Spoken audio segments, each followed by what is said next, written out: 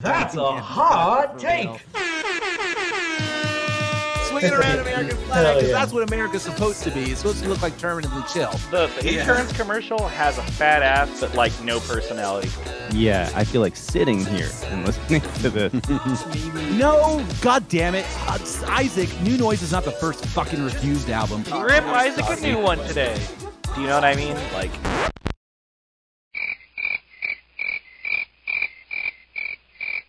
Don't touch my records. Ever.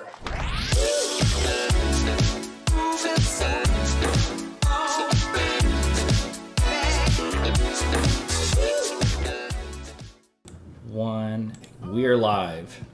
Hi, guys.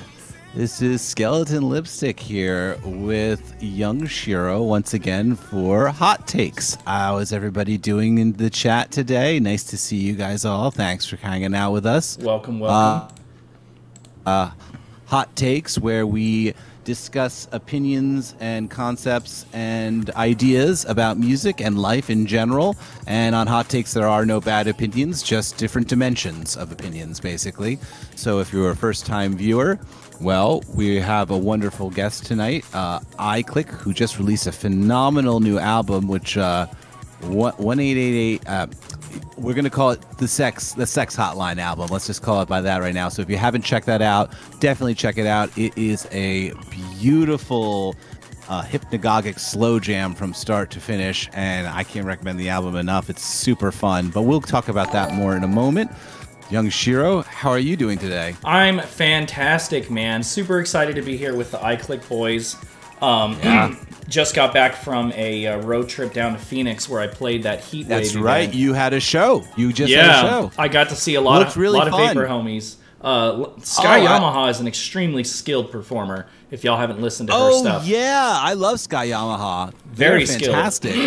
oh yeah, I, I um I love that stage setup they have for it too that you guys had with the um the projection that was going on the actual DJ booth itself. Right. That was really fun looking. I like that a lot. it was. Shout out Chief Leaf for crafting all the visuals. Uh, DS Dude did. Oh, that was Chief visuals. Elite who did all that. Chief huh? Leaf and Hayes TV talented. had a super cool setup. And Hayes TV. And um, So like talented. glitched it out. Yeah, it was super cool. We had a great time. Um, but yeah, I'm doing great. I did break my headphones, so as I told you, I'm using baby's first cost headphones today. But I should sound the same to all of you lovely people that have joined us. Yeah. So, um, I guess we'll start with a music rec, maybe from uh, you, Isaac. What uh, what have you been listening to lately, bud?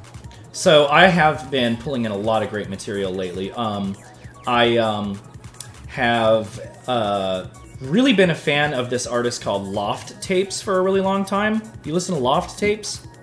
I di- I'm not familiar. Please educate me. So it's like three like kanji characters and then tapes, and they make like breakbeat, but it's like vapor infused breakbeat, not breakcore Like like Sewer Slut or Sierra Mist, but just like very chill. Um, so Loft Tapes, I bought an album called Am Anamnesis. Uh, pretty good stuff. Definitely uh, recommended to fans of anybody that likes breakbeat or, or vaporwave, of course. Um, I picked up a Trash Ghost album. Um, it's an EP that I guess was released on floppy. I don't know the name of it because it's all in like like Hmm. Love Trash kanji. Ghost. But yeah, yeah. The shout out to the homie uh, Love Trash, Ghost. Ghost. Uh, so definitely recommend. Outstanding. Uh, if if my computer was a better computer, I would I would link it in the chat. But um, definitely recommend Trash Ghost. You guys check out Tyler's stuff. Other than that, um, kind of um, don't know if you've. Uh, I, I would say this artist is kind of vapor adjacent. They're affiliated with uh, Zoom Lens. Uh, they go by Xyloid. Do you ever listen to Xyloid? No, I haven't listened to Xyloid, Kinda but I do love. Zoom Lens. If you like, and, and I'm, I'm sure you're. A, I think you're a Meishi Smile fan. LLLL. All I'm good uh, stuff. I'm I'm a big fan and good friend to Meishi. Uh, Yeah. Smile, good good good guy. Very very very, Very much skilled. absolutely. and um, and one of the artists on his label, Love Xyloid, um, has been involved. Ma- Meishi is the homie. Zoom Lens is the homie label. Uh, Oh, yeah. uh, another one of the older older first wave of the internet record labels that came out back in the day in the early 2010s. So uh, Thankfully, they're still going. To Meishi Smile. Respect. To, yeah, they really did. Like they've been they've reinvigorated themselves. They put out like the Blinda Butchers album too. They recently, did. like, They did. uh, They're all over the two Ago, place. actually. I don't know Uh, if I. respect to Meishi Smile. Respect to Zoom Lens. I told you I got to uh, like, I got to now. see uh, Meishi Smile live at an SPF up. 420 showcase in 2015, and um, Uh, they had like this thing that they used to like put the mic right in their mouth during Belong, that one like breakcore song where they're like Mm-hmm. screaming the whole time, and it was just an amazing experience. Uh, I saw the homie Meishi probably back in uh, 2020 or 2019, actually, over in um, Oh, very cool. Brooklyn at uh, at the uh, Zone One and Elsewhere space. Uh, it was uh, Oh, wow, was them great things about that venue. Also, uh, also uh, Ryan, our the homie Ryan played at that show too. Uh, Yeah. you know under Ryan under the name Ryan De Robertis. De No way. Re- yeah, he played a set at, as well at it. I got a little photo of uh, me and him and Meishi and everybody else on Oh, that's stage. too cool. I posted that on Definitely Twitter later. jealous. Uh, So Mm-hmm. the the name of the release is Assemblage EP by Xyloid X Y L O I D. So whether you check out Mm-hmm. Xyloid, um, Trash Ghost, or um, Loft Tapes, I can recommend all three, especially if you like Vapor I- adjacent stuff. Saturn Foo. I see. I see Saturn Foo saying, "I'm trying to see Roller Girl." Man, I'd I'd love to see. I'd love to see Roller Girl live. Uh, I think he's mostly doing like soundtrack work and stuff for like actual uh, like big like TV series things. Are you things. serious? I didn't know that. Right? That's amazing. Right? Is I think I don't know. Maybe someone else knows more about that than I do. He's wonderful though. Uh, But yeah. Uh, uh, any uh, any others? Any No other man, that's it for me.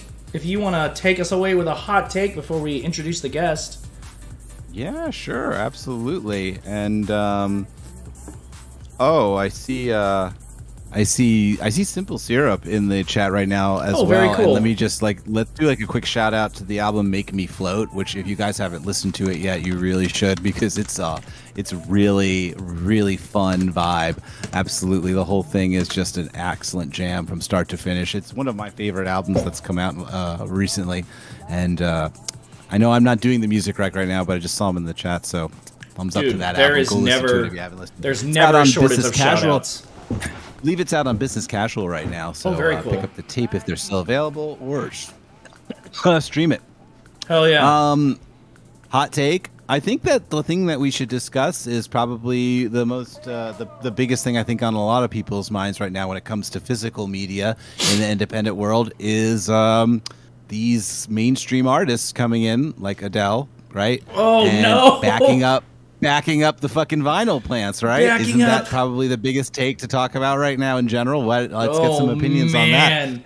Give us some how fucking do we opinions. feel about the and like you know it's just funny too because like you read these interviews about like Ed Sheeran being like I could barely get my vinyl out because Adele's booking up all the plants and there's like only Oh, wow. three or four and and I'm like yeah fuck you Ed Sheeran. Like, So it's I don't- I don't affecting other mainstream your- artists, your too. gripes about how like you and five other people can't completely monopolize the vinyl plants right now. He like and you're like oh you, yeah Ed me and Coldplay are trying to get our vinyl and what you guy go, go fuck yourself man.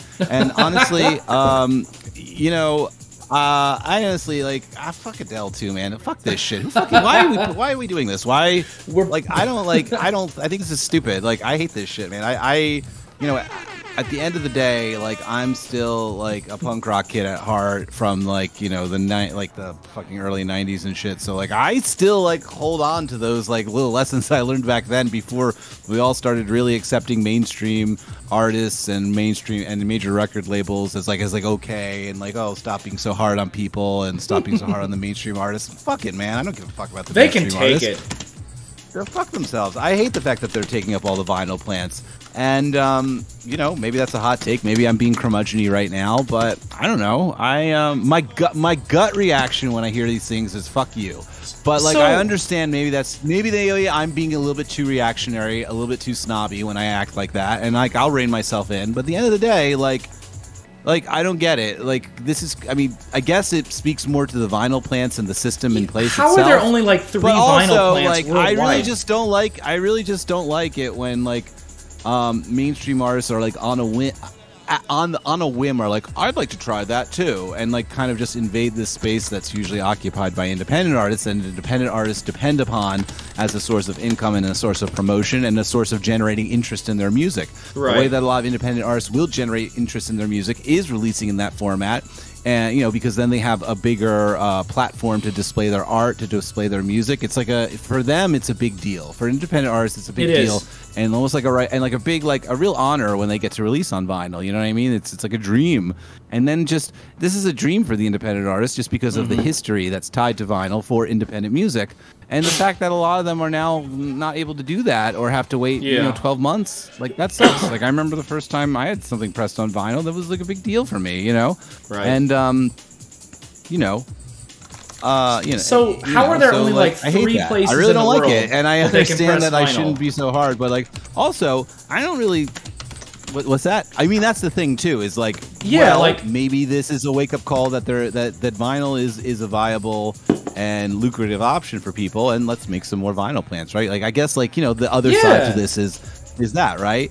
But um, but man, I really hate mainstream artists, and I mean also like my. I mean, I know that's not what I should be saying, and I know it's like you know, people can like what they like, and that's okay, and it's true. And it's just, oh boy, just my gut reaction is to say, Oh my God. you." Like I don't know. I really just, I, I feel just- that on a like, spiritual I really level. like, I really hate, I really hate hegemonies. Like I really hate like like the hegemony thing of like. Well, you know, it's popular, but that's okay. We'll all accept Yeah, yeah. it, and it's, it can be there. I like, no, that. man. Like, fuck Adele, man. Fuck her. There's a million other people that sound like her probably that could also do that. She can move over and give some space to some other. I guess artists it's just that proof that just as tape is the and most punk rock form of physical media. yeah i mean i guess like you know there is the other side to this and like um you know maybe it does mean uh people need to you know like i know there's the idea there's the other there's the other side to this too that and like i, I saw like a tweet from like david you know hong kong who's just like well maybe now you know amongst the shit posts there's always like maybe one or two things that are salient and is like you know, okay, well, maybe people need to become more creative with the way that they really the way independent artists release their music. They need to think about new options, and that's true. That's a valid. I don't say it's a valid idea, but fucking vinyl is pretty cool. Like Yeah, vinyl is cool true. because it's so big and it's so fun to look at, and it's so beautiful to hold that piece of media. You know what I mean? And Like, just really nothing love quite 'em. like it. Yeah, I mean, like, I guess, you know, you know, I and it's not like you know, and, and at the end of the day, to tell you the truth, at the end of the day, I actually like cassettes more. You know what I mean? Oh, It- it's a weird thing to say, but I I know Lux is in the chat right now, and I know she prefers cassettes as well. I'm always biggest fan for cassettes because I just think they're a very interesting form of media. I just think I like the idea of how fully defunct that media is and how kind of relatively anytime you try to make it cool, it's still a little uncool. And I like the fact that it degrades. I like the fact that you cannot choose where you start on a cassette tape, that wherever you play Oh, is where it begins and you must now follow that journey. Like I think that's an interesting concept too. So I Mm. am still like number one fan for cassettes above all else. But um but you know, I just really I mean, but vinyl's still really cool and I don't like the idea of these independent artists not getting the chance to do this or being pushed back. You know what I mean? Thoroughly agree. Well, anyway, thoughts? Anybody? What are we saying in Yeah, the chat so right a now? lot How of the people doing? in the and chat also, I are apologize. saying- Oh wait, wait. Actually, let me back off for one second, really, and then I'll get you get back to that because like I feel like I said a lot of mean things about Adele a second ago, she can take it. and I feel actually something written. I feel that I'm like, you know, like I shouldn't be so hard on on people for who are just doing what they love. You know what I mean? And have been able to make a successful career out of it. But like, man, it's just like, you know, Yeah, but we wouldn't do that. We up wouldn't jam up for an the. artist. I feel bad. I, I'm not this curmudgeon. Yeah, We wouldn't jam up But the go ahead. presses like that. We would want there to be room at the table for other people. So I hold other people to the Yeah, I standard just that I remember like it was such a huge myself. Yeah, like I'm. I remember what a huge deal it was when like groceries sold those 500 uh, vinyls, and I remember like, wow, that's Shout so cool, good for you. I can't believe that like an independent artist from this little nas- nascent scene was like was able to do that, and then like, well, will they get the opportunity to do that again now? If these Right. other artists keep taking up the space, you know. So people in the chat are saying bring back CDs. What do you think about that? I don't really like CDs that much. I think Why they're not? like. I don't like them. I just, I don't, it's fine, and everyone can like them if you like them. they're I cheap just to produce. I know that- Well, they're flimsy and um, True. nothing terribly special about them. They get they, they get scratched and that's it. Like if a if like a if a if a if a cassette gets scratched, it almost becomes more interesting occasionally. But if a CD Fair. gets scratched, it's just I know CDs are so disposable too. Um, I don't know. Um, I mean, you can all you can really do is I, I'm not a big fan of CDs, um, but that's you know that's all good. You know what I mean? Like that's just my opinion, and you know I'm not right or wrong. I just if if you're gonna do something on physical media, I prefer almost any other version of it to a CD. Uh, I prefer a floppy disk version. I'd prefer Oh, wow. a vinyl version. I A would Game definitely Boy prefer a Advance cassette cartridge. version. A Game Boy Advance cartridge for sure. A just- CD is just um tube. just doesn't it just doesn't it doesn't um it, doesn't uh, enamor me in the same way that the other media does and that's just me you know i'm not right you know whatever that just just I doesn't mean, um you and I kind of came up while CDs were everywhere. So i don't i'm not put under me. i i will be yeah but that's the thing it's like they just like were everywhere and like they were so ubiquitous and it was so easy to burn them yourself True. and like didn't Fair. take much work to even do it um but that's just my opinion. And you know I, it's, that's it. That's all that is. Nothing big nothing nothing you know it doesn't mean that the format is is that it's still it's great format if you like it and other people want to do that it's great. Um not a big fan myself. I'm just not i don't i'm not it doesn't put me under a spell in the same way that other physical media puts me under a spell you when i can't have to frame a engage with CD. it.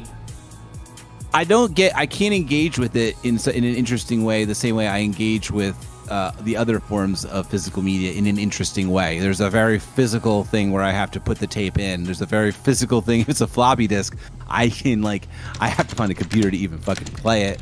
Like um, if it's a vinyl, I have to take it out. I have to look at the inserts, and they're really big, and I have to hold them with two hands. A CD True, is just so right. um, so um, pragmatic.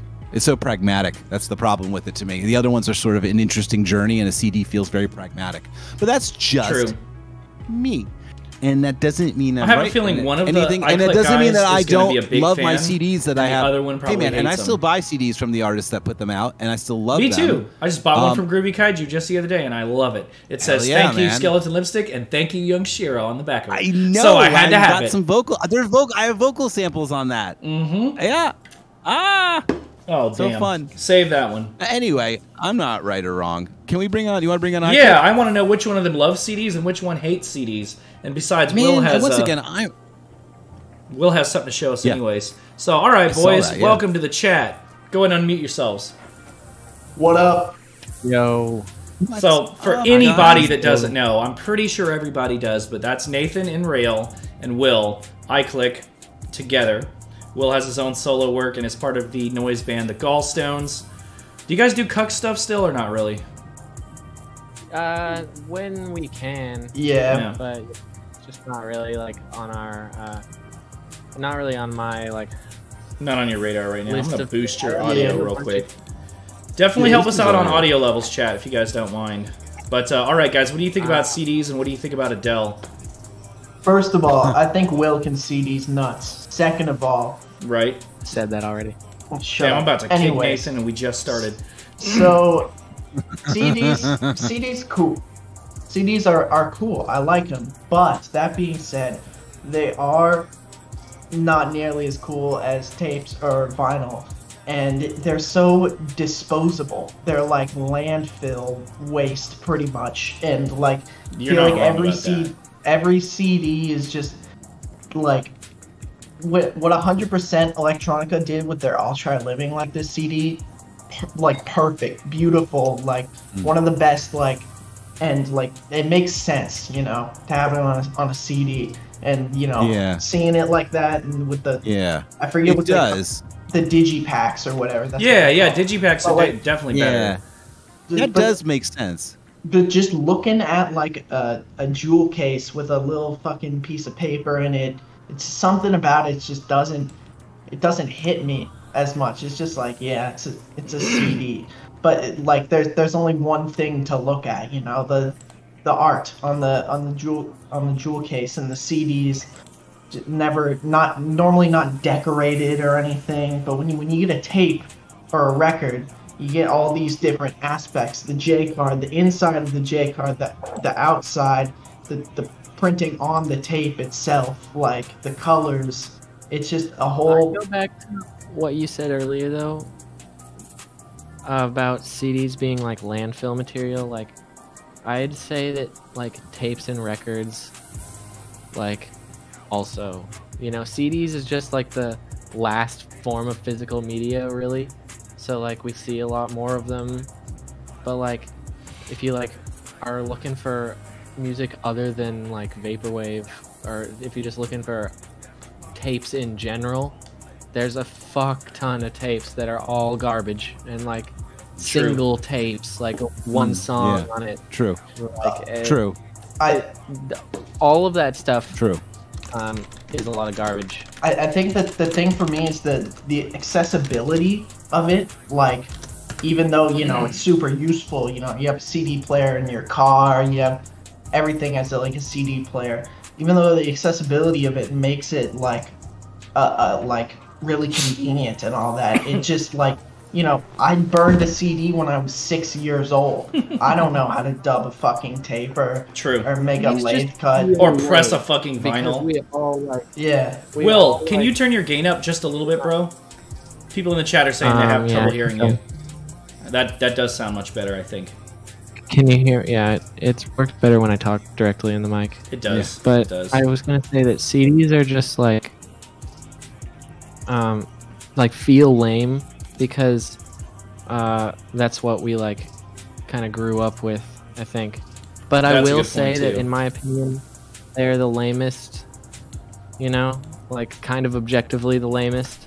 Man, Um, because like they like just like, I don't know, like they're never that like this. I this is the one CD I have. I have two. Tommy other- Wright the third. a two live crew, Nice.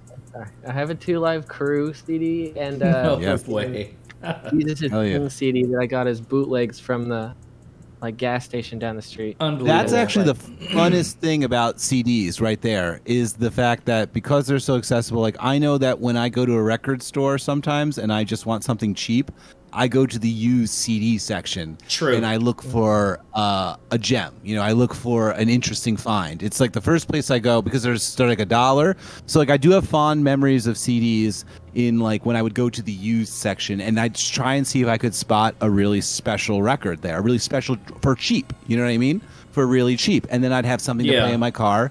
And I didn't care that much if I lost it because I just usually would I'd find something that I kind of like half liked but never really had a chance to listen to. and I could experience that album and I could do it pretty cheaply and you know that's like an interesting or what you mentioned the other thing is like you know there's a because CDs are so accessible and we're so cheap that there's a lot of crazy shit that's on CDs. So Yeah. you can go to the gas station Right. and like find some random Bootleg. fucking album that I don't even know that like the guy who works there released or Exactly. something his Yeah. cousin released. Yeah. So that's kind of fun.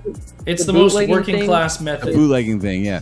what I, I think is the dopest is because like it just made like uh, sh- like illegally sharing music easier. Like, Yeah. I, I have another one of these CDs that I got from the gas station that's like Megan Thee Stallion's first album. Oh, yeah. And, like, that's not on any physical media at all. What? Yeah. Like, like she No way. Right. put it out. Unbelievable. And so- That's a very good point. Don't don't you have You know, hella we'll- bootleg have a like bootleg. VHS tapes too? I think. yeah, I have a I fuck. feel like you told me you had hella bootleg bootleg VHS. VHSs. That's a really mm-hmm. interesting point that Will brings up is that like I do remember that the first time that I wanted to get things that were never out and on any other form of physical media, you know, my friend who had it and downloaded it from a file sharing website put it on a CD for me. You know what I mean? Right. And that was like how I got access to a lot of really obscure shit for, for the like you could do that with tapes back in the day that's why tapes were such a like thing that people were like oh no like tapes are coming out like you can record music onto these things Yeah, there was a huge panic about it. yeah. but like cds made that even easier Yeah. and like that was also in like kind of like cds existed in napster days you know yeah. Mhm. So it's like I feel like that we can kind of credit a lot of this um, ideology we have towards like free information and free Mm. art uh, um, to CDs and to like illegally downloading sites. You know, Wow. Yeah, that's a really good point. I didn't even think about it like that, but that's an interesting point. There is a bit of a rebellious uh, spirit behind the CD. Interesting point. Yeah. True. I will also quickly bring up that um, my hot take, my first hot take, is that Zune was infinitely better than iPod Absolutely Oh, was. wow. because it invented streaming. The Zunes were the shit. I had like two really? of those. I did never had an experience with the Zune. You So never had a Zune? invented streaming. I never had a Zune Zune invented streaming by because iPod you had to buy the song like Mm. for a dollar ninety nine, and then like download it Ninety and nine whatever. cents, not a dollar ninety nine. whatever. I never Oh, and then you could like things. share it with somebody. You could like wirelessly share the song. Yeah, They could only play it, like, 10 but, times or whatever. have to do It was called squirting. It was called squirting. It was Sharing not called a song squirting. With someone. It's called squirting. I'm not kidding. I'm Really? not It gonna was. eat How fun. The, but they, yeah, you, you just had to like plug in your Zune to charge it on your computer, and then it would sync. Wow. Um, it Yeah. would sync with your The sync software was terrible, So, but yeah, I mean, the Zune still was amazing. but in the early days, like that shit, that shit was fucking tight. Like I never had to buy any music. I just like my parents got my dad like um was a uh, his Microsoft was a client of his, so like he got all this Microsoft crap, and so we had to use all the Microsoft crap being in Seattle. So that's why I got stuck with Zune. But I quickly realized like I could literally listen to whatever I wanted, whenever I wanted it, and if I didn't like it, I didn't need to have paid for it Hmm. at all. Uh, when everyone else had to like buy all their shit, and so I feel like I've listened to a, a shit ton of music. I was able to listen to a shit ton of music at like a really early age because of that. Hermod117 says, My Zune still works. I have t- like 20,000 songs still on it. Wow. I'm pretty Yeah, sure I and met it held Hermod up. one one That's seven and imp- Virtual held Memory that many 27. That songs guy on was it? cool. That's, a lot of songs. Are they all 128? You could also go on the internet on that shit before you could on an i iPod Touch. Really? oh, Fantacat is here. I What's don't- up, I Fantacat?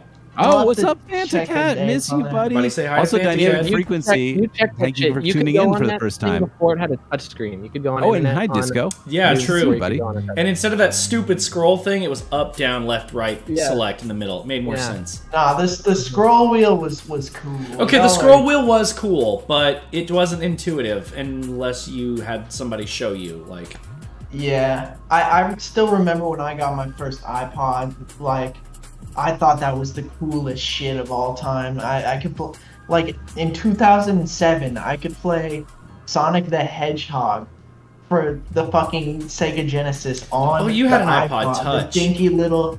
No, I'm talking about the No, iPod that's- Nano. You could a- play that on a games Nano? So. Yeah, That's- Yeah, there was a way to do that.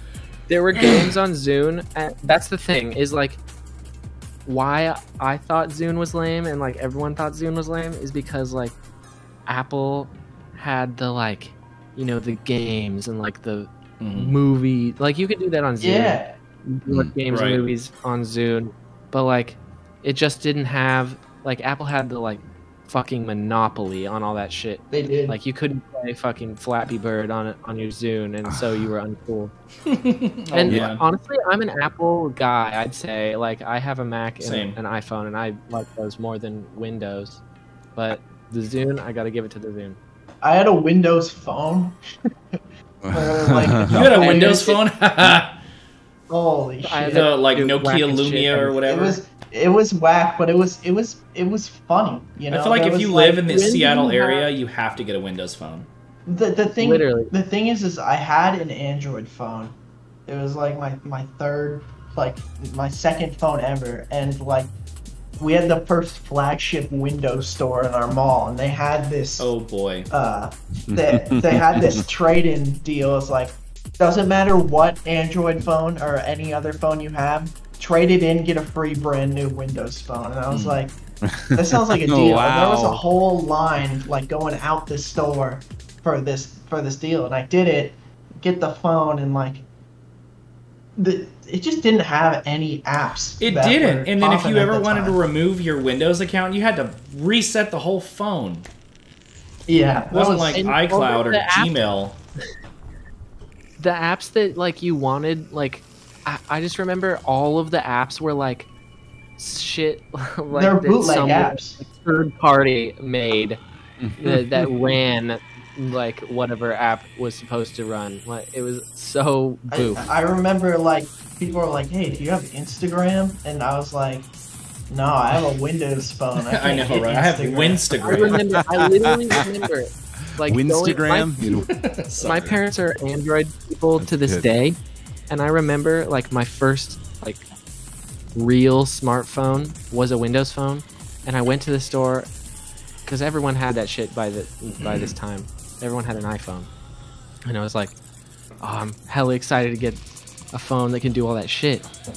And they're like, "Oh, get the Windows phone. It does everything that an oh, iPhone no. would do, but better or something." And I'm like, "Okay, all right, sure." And so I got it, and like, I remember going to like download specific apps or like something like that that I knew, and it was like doesn't have, and I like looked it up, and it was like, "Oh yeah, Windows Phone doesn't have jack." And I was like, "Fucking hell!" Like I remember Right. where I was. I was at my brother's soccer game, and I was just so pissed. Bro, do you guys remember the fucking Fire phone by Amazon? Oh, that was a disaster. That shit only lasted tanked, for, man. Like two months. I was so happy to see something Jeff Bezos made completely and utterly crash and burn. it's it's funny to see these sort of like the phone wars. You know what I mean? That kind of occurred at that time period. And Yeah. um, Yeah, like I had a um, Motorola. I would just get my parents' phone. Like they would have a phone, and then they'd get new phones, and they'd give me the old one. And it was a smartphone, by all intents and purposes, but it had like the slide. Oh, I where you, remember like, those. Type in the. Yeah. It- It's a Motorola, and it was black. My that mom was had like that phone. My first phone, and that shit. all right. shit- I have a question for you It- guys, really quick. Do you guys, speaking of No, squirting, no, no. Let's talk I don't about think phones that's more. real. Hold on. No. All right. Phones. Speaking of what? I, I, I, I still don't believe that you really that it's really called squirting when you share a song from a Zune. But I, I really wanted to go back to that. I wanted to know if you guys share each other music very often. Yeah, we're always texting each other Always, shit. always. Yeah. I didn't mean Like, to kill the phone conversation, but like, Literally, No, please. No, I think we is- can. I think we've done enough of the phone Yeah. Talking. I mean, look at my text conversation with Nathan. It, we, Will liter- like we literally just like sent some shit to each other like last night. I remember Will s- sent me like some Russian like children's rap music, and he was like, oh my god, n- Are you guys that- usually pretty- Wow. are you guys usually pretty spot on with the recommendations? Like, are you pretty good at knowing what the other person will appreciate, or Yeah, yeah, You guys Uh, have the same sensibilities and the same sense of humor too, and uh, yeah. Yeah, I, those things, yes, but I know what Nathan will like for sure. Like, ah, I don't know, like, I'm sure Nathan knows what I like. Yeah, for the most part. Will, Will likes shit that's like. Will will like anything where it's just like guitar going, and some guy going like, I am the egg roll man. I have a Motorola or some shit. Like, you like that experimental It's, shit, huh? Yeah. do, do you have? Can you um? Can you attach a, a band to that you would compare that to, like a like a Captain as opposed- Beefheart. Captain Beefheart. That's Okay, what so I, I was Will- literally gonna guess. Like that's that sounds very Captain Beefheart. What you're gentle, talking Right. gentle giant. Like Will listens That's to the one I was gonna Will say, Gentle listens. Giant. Will listens to so much music that's just like the flower blooms delicately in the. You're the one that has a Mort Rock. Garson shirt. Yeah, Mort Garson is that's different. True. It's a lot Nathan. Nathan, like, yeah, no, I, I, I listen to like a lot of shit. I do listen to a lot of prog. Prog is probably one of my favorite Okay. genres, which is I, I think what Interesting. Nathan is uh, referring to. But Nathan, like, for the longest time, only ever listened to um, dubstep, like EDM, like in high school. Right. And I Love it. remember, like, Love it. slowly getting Nathan to listen to other shit. Like I remember showing him um, like Garden of Delete when it came out. Oh, Hell nice. yeah. And I was like, yo, That's a really nice way to transition. It uh, is. That's it. into uh, some some other things. The thing that was that a really, good, well done with that choice. That Yeah. selection. That was a good The- idea. the thing that really got me transitioned was Death Grips. Do you Okay, see I remember cool. like that makes a lot of sense like too. 20, 2014, 2015, we are in our radio class together, and Will showed me Oh wow. Lost Boys by Death Grips, and I was like, oh, shit, Oh, this, nice. is, this is crazy. Like, this is like kind of right up my alley. Like, what? I thought you just listened to like my hard drive, my hard drive. So, I don't Well, know. so what's Man, I something that you put Will on? I really onto? love Nathan's prog rock lyric work here. This is phenomenal. Me too. All right, go ahead. I'm sorry. I'm sorry. I, Yeah, want to know something that you put Will onto because we've heard a lot about what Will put you Uh-huh. onto. What happens Yeah. when it goes the other way? I Good put question. Will. I put Will onto like some like electronic dubstep shit, like kinda like like like what? Like Nathan put me onto Justice. yeah. oh, just- okay, That's a good cool. one. Nathan put Oh me on- wow, Nathan that's a really onto good a lot of stuff that like, like I listen to a lot of like fringe stuff and like, I don't know, like, but in doing that, I kind of have skipped over a lot of the classics. Right. And I Right. feel like Nathan has shown me a lot of stuff. Like, Nathan and I had a little bit of a fight about Bloghouse. Bloghouse Blog. good. Like uh, I, I I haven't gotten that deep into it, but like Sebastian and like all that Ed Banger shit is is Yeah. fire. I don't know what you're talking about. Like, do you, do you not like You can you can keep Cross by Bloghouse. Justice? Do you not like Cross by Justice? I love Cross by Justice. Yeah, I, I feel like that's more like French House. Well, yeah, but like, the, have you ever listened to Sebastian? Like, I didn't mean to derail the conversation as far as my dislike of Bloghouse, but uh, I'll, you can you can uh, Sure, slip me some out. tracks later on, and I'll listen to the whole album in honor of Will. Yeah, no, for sure. But I, I, I did get Will into. You've never listened to Sebastian Isaac? Okay, I've heard Sebastian. I just I don't remember it being super remarkable sounding. I like Maybe I heard the wrong song. by songs. Um, I don't know. Check out check out the album Total. Uh, that's Okay. very good.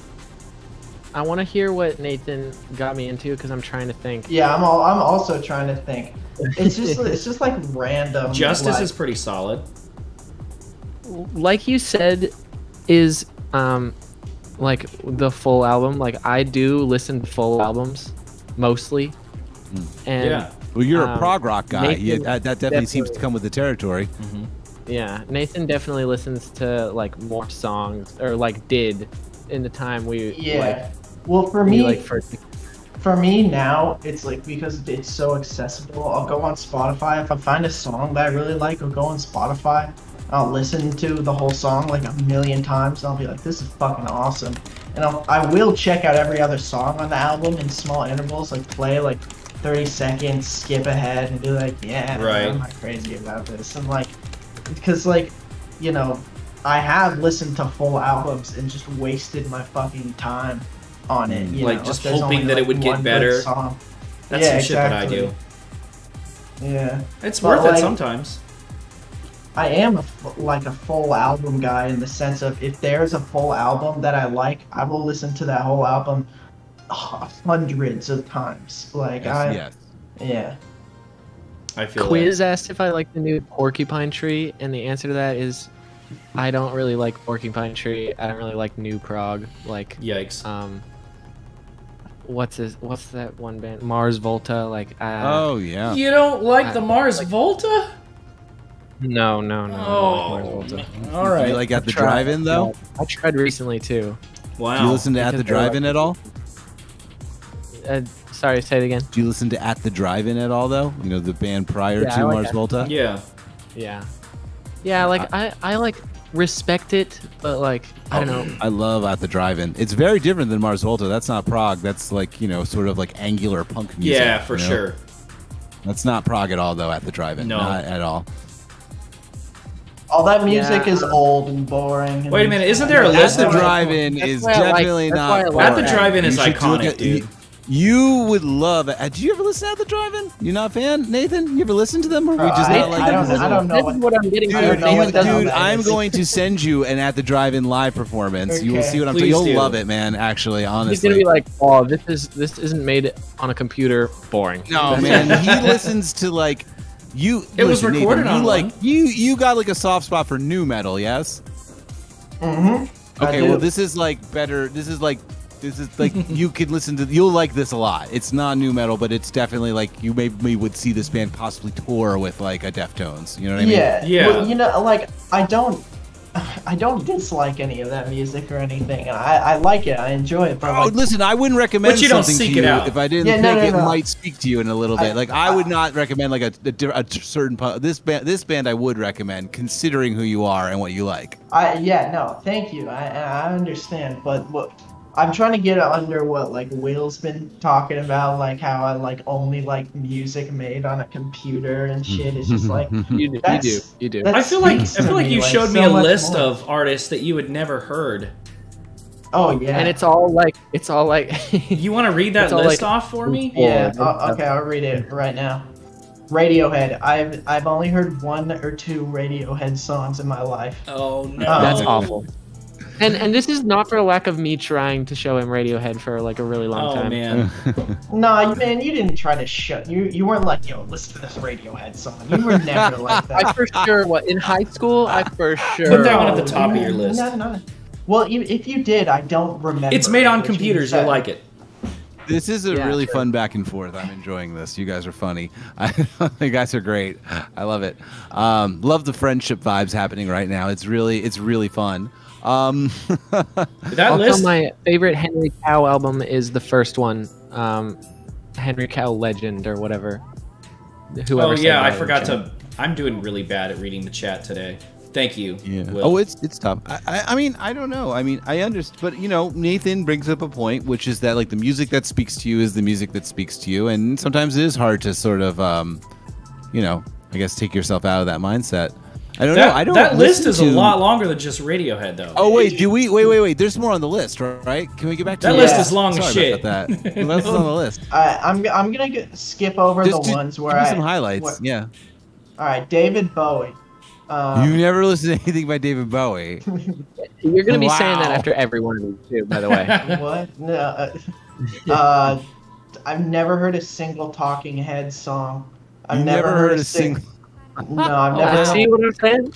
You're gonna say that after everyone. I've never heard a single Joy Division song. I've heard two Animal Collective songs. I've Whoa. Never You heard never heard "Love Will Tear Us Apart"? I don't know. I bet he would recognize it if he heard it. I- Love, love will tear us apart. I've never heard Godspeed oh, Okay. You Black Emperor. Oh man. I, I've never heard The Strokes or Sufjan Stevens. Or- He's never Fuck heard this- Sufjan Stevens. and fuck Sufjan. and Whoa! I've never heard. I've never heard Weezer. oh, Fuck Weezer. Weezer? Much. That's kind of hard to. That's now that's impressive. I've heard- it's really okay, hard okay. to not hear Weezer at some I've point. heard This- fucking. You've never heard Say It Ain't Sun So? The other one, but like. So the, the thing I would say about some of the bands on that list, particularly like something like Joy Division or Talking Heads, is that well, you know, um, there's interesting lessons about song structure in the in that kind of music um, Yeah. that I take with me when I listen to it. Now, listen, Nathan, I don't really listen to too much instrumental instrument created music these days myself to tell you the truth like i don't really listen to a lot of instrument based music anymore i did a lot when i was younger i mean because that's what was what's what we listened to back then you know what i mean like i listened to a lot Yeah, of microphones punk, microphones a and lot stuff. of indie music a lot of like Cap'n Jazz. hardcore a lot of things like that. Cab- yeah Cap'n Jazz also yeah a lot of like 90s Just grungy uh, stuff, you know proto emo and grungy oh grunge stuff. I mean that's what i i mean i'm Mineral, older. like i'm older. Mineral? that's what i grew up with when i was in like elementary school was like around that era right? So i did listen to like a lot of these bands but like i don't really anymore too much. I don't like i have a guitar. Same. i don't really play it that much anymore. Um yeah. Uh, so you know, but you know, that's there are lessons to be learned from those bands, and um, it's, it's you know, it's I, it's amusing that you haven't checked it out. It actually kind of makes you an interesting producer because you don't really Well, here- have that have that sort of base that a lot of people do. Yeah, well, Right. here's the thing. So, yeah, because a lot of people have that base, all the artists I listen to are inspired by fucking Radiohead or Metallica or some shit I haven't listened to before, and like all that. And they know all about the song structure, and they're doing it better now with computers because they have Wow. access to oh, everything wow. that they want. No. But Well, what, what, that's- what I'm I don't trying- know. I kind of agree with him.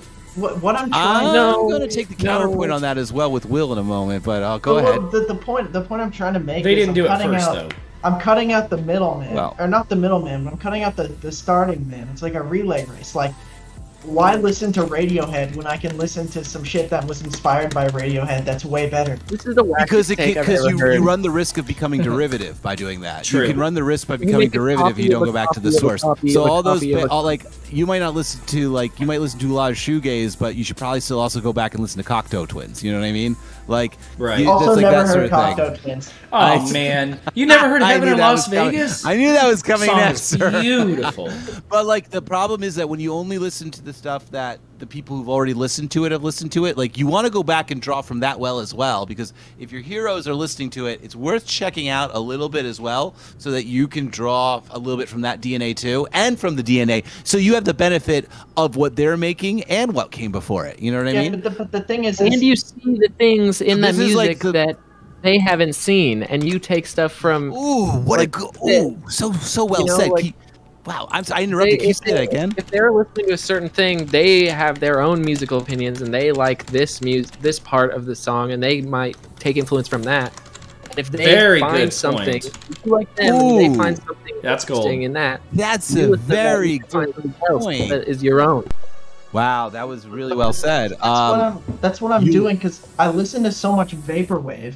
I always go back to the original sample and listen to it. You know. Me too. And like it, yeah, I- me too. Yeah, like I'm. I'm.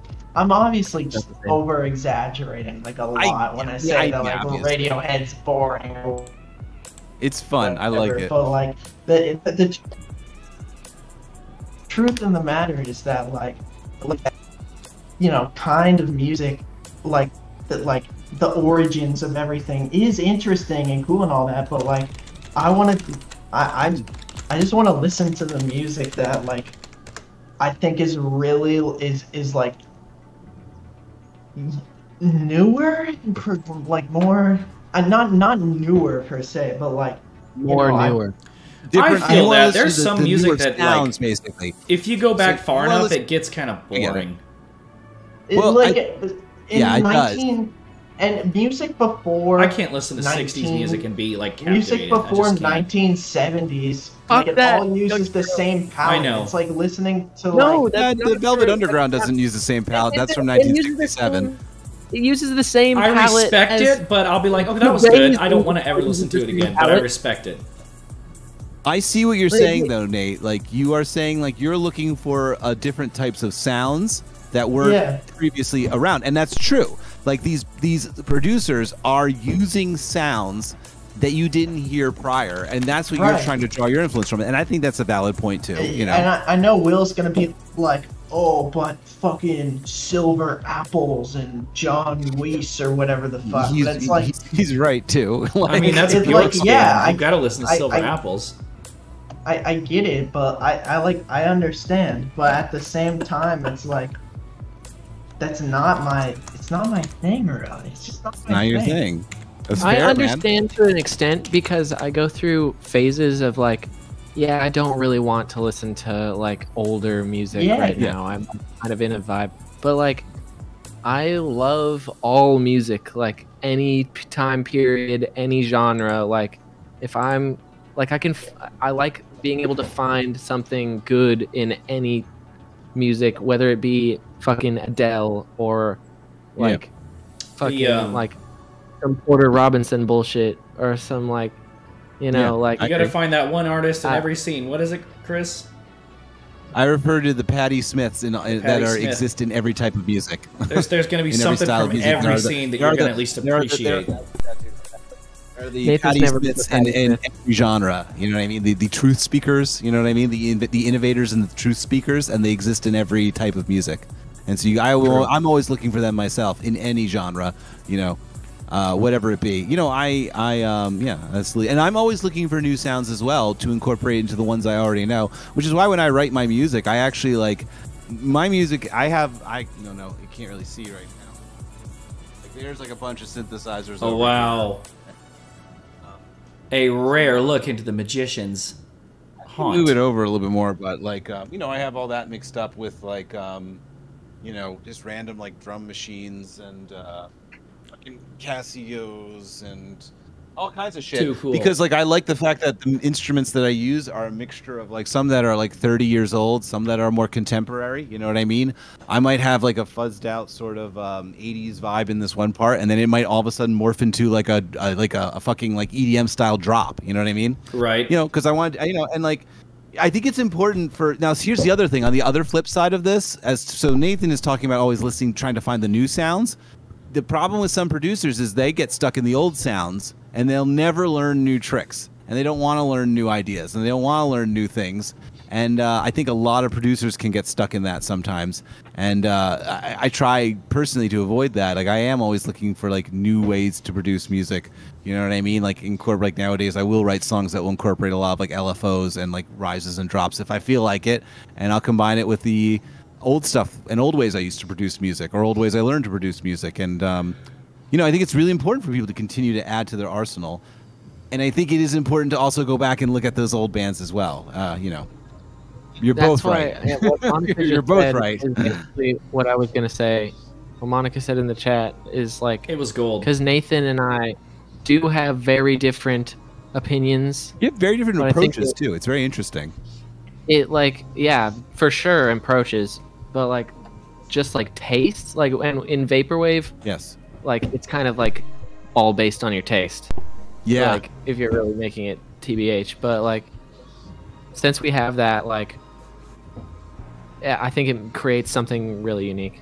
Definitely. Like I like with all of my personal music, like like you were saying earlier, Chris, like about like uh, how you, you learn one thing and you're like stuck in it. I've kind of been stuck in everything it follows the the formula of like an EDM song. Like there's an intro, there's a build up, there's a drop, there's you know a breakdown and then an, another drop and everything is like loud and punchy and, and side chained and all that and it, you know it's been like that that has been you know the main structure of all the music I make and wi- because Will comes from a different you know background in making music he doesn't think about all the all that technical of stuff like it, it's it's Will's thinking more about the sound Like the and, soundscape? the, the sound in the moment yeah. like the sound I feel in the moment I think about the bigger picture Hmm. more Interesting. like That's a so, great like, yin yang. Wow, that's a really interesting Will- Will- uh, thing. Will will be like, no, this needs to loop seven and a half times in this like off position here, and I'll be like, no, like, I, I'm I'm thinking about if I was at a concert playing that live, watching an audience try to dance to it, or Yeah. like, or like, and obviously, you know, that's not what all music is. It's not all for like people to dance to it or whatever, but like in the in the song on the one nine nine nine sex line, uh, Black Daddy, me and Will got into this huge heated argument about Oh whether uh, about whether the guy the sample of the guy saying "daddy" should play three times or four times. I said Oh, four wow. times. It's right Right. before the drop in this big I'm dancey still song. freezing. Yeah. And Will's like, and. Will's like, no, it needs to be three times. And uh, like, we played it over and over again and got Monica's opinion on it. And like, Which was biased. Uh, LMAO. shut up, shut up. Hey, Like, Monica you knows should have, all. Like, You're right. Like I do that's fascinating. to be weird. Like I like it to be a little off because everything is, you know, four. You know, Oh, fucking boy. everything is four, and I, it's kind of boring to me.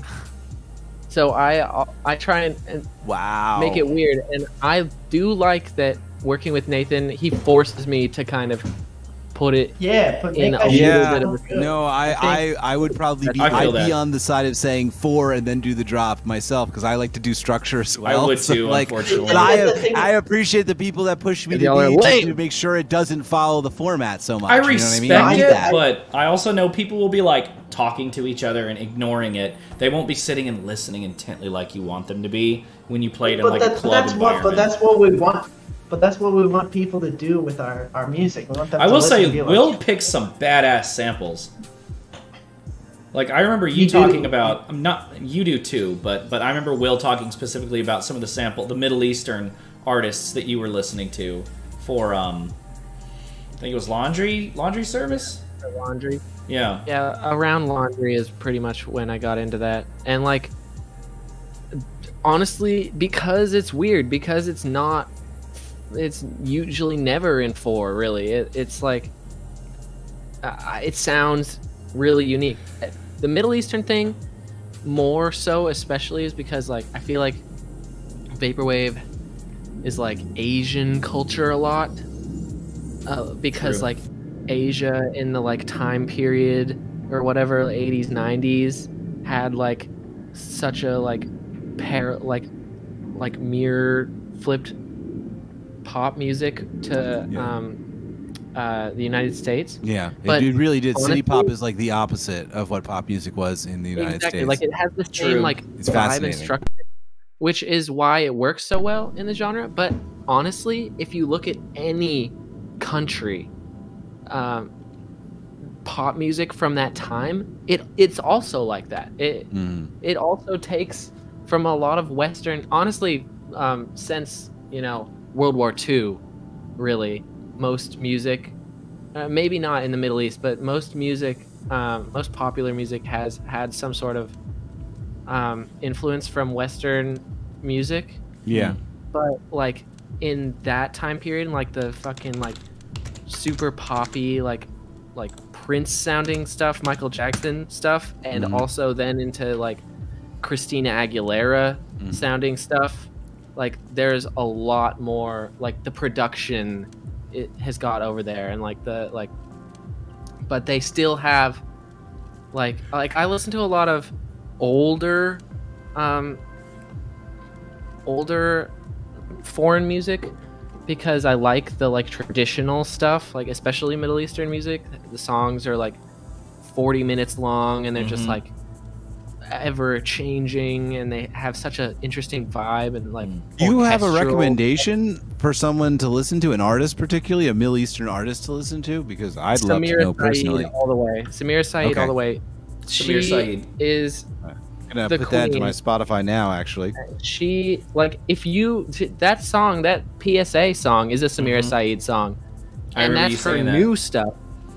And if you go all the way back to her old stuff, it's that shit that I'm talking about. It's the traditional. She's been she's like 63 now, and if you Oh, see wow. a picture of her, she's like fucking gorgeous still. She's the she's a host on uh, Egyptian The Voice. Interesting. You know But what's she's funny? had this My- like whole, she's had this like ever changing um musical sound to like traditional stuff in the uh, late 70s and, and early 80s to Hmm. like 80s sounding pop to like So modern timeless. sounding like yeah it's it's really crazy to listen to and when you listen to her um, you get a lot of recommendations there's a YouTube channel I don't know how to pronounce the name of, but that's pretty much where I've gotten most of my shit.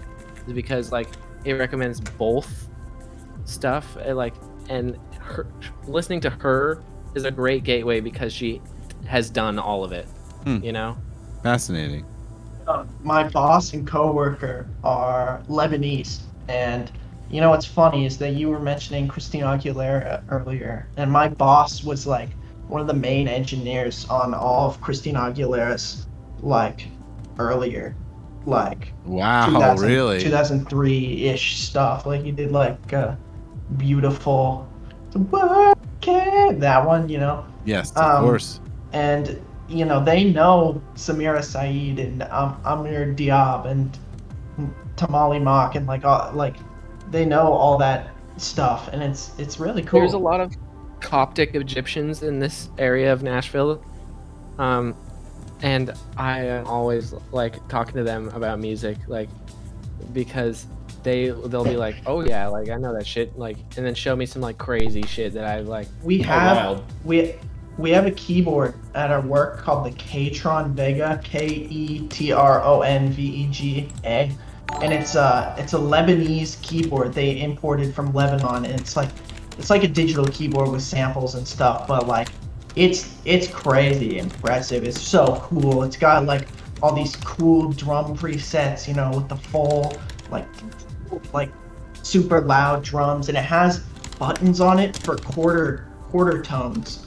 So like Oh wow. so like you you know it like puts the key up like 25 cents or something so you can play like weird like microtonal shit on it and it's like this it's like the coolest shit ever. How much does it cost to rent Um, that?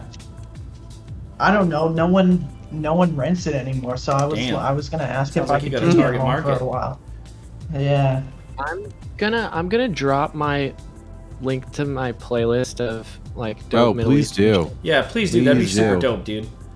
Really Um, appreciate that 'cause, like- you put people onto different stuff like that. That's what I like. I, I like, like, cause, you know, what I was saying earlier is like, I like um different shit. So like the the Japanese stuff a lot is like dope, but like in vaporwave, like I want to like do some different shit. Like that's like why I love the Russian shit too, and like Yes. but like Middle Eastern, like oh, every culture has um, music, you know, and like has Yeah. a strong um, musical, Like a personality to it. yeah, personality that's very unique. Correct. I think that um, like pop music is, is such a like interesting concept on how it's like kind of taken over everything in in some sort of way or like Yeah. pop music it like has a, like a larger like just in the way we're all connected now i think that popular music influences mo- more cultures but they mm. still True. have like their own sensibility you know that's like impressive and unique that like is added so i'm always like any country any culture like i'm trying to figure out what pop music they have like because that shit is always really dope like, like i find american pop music really boring in comparison I love K-pop music. Not I'm not. Yeah. I feel like yeah, like that's the, kind of the, the wave right now.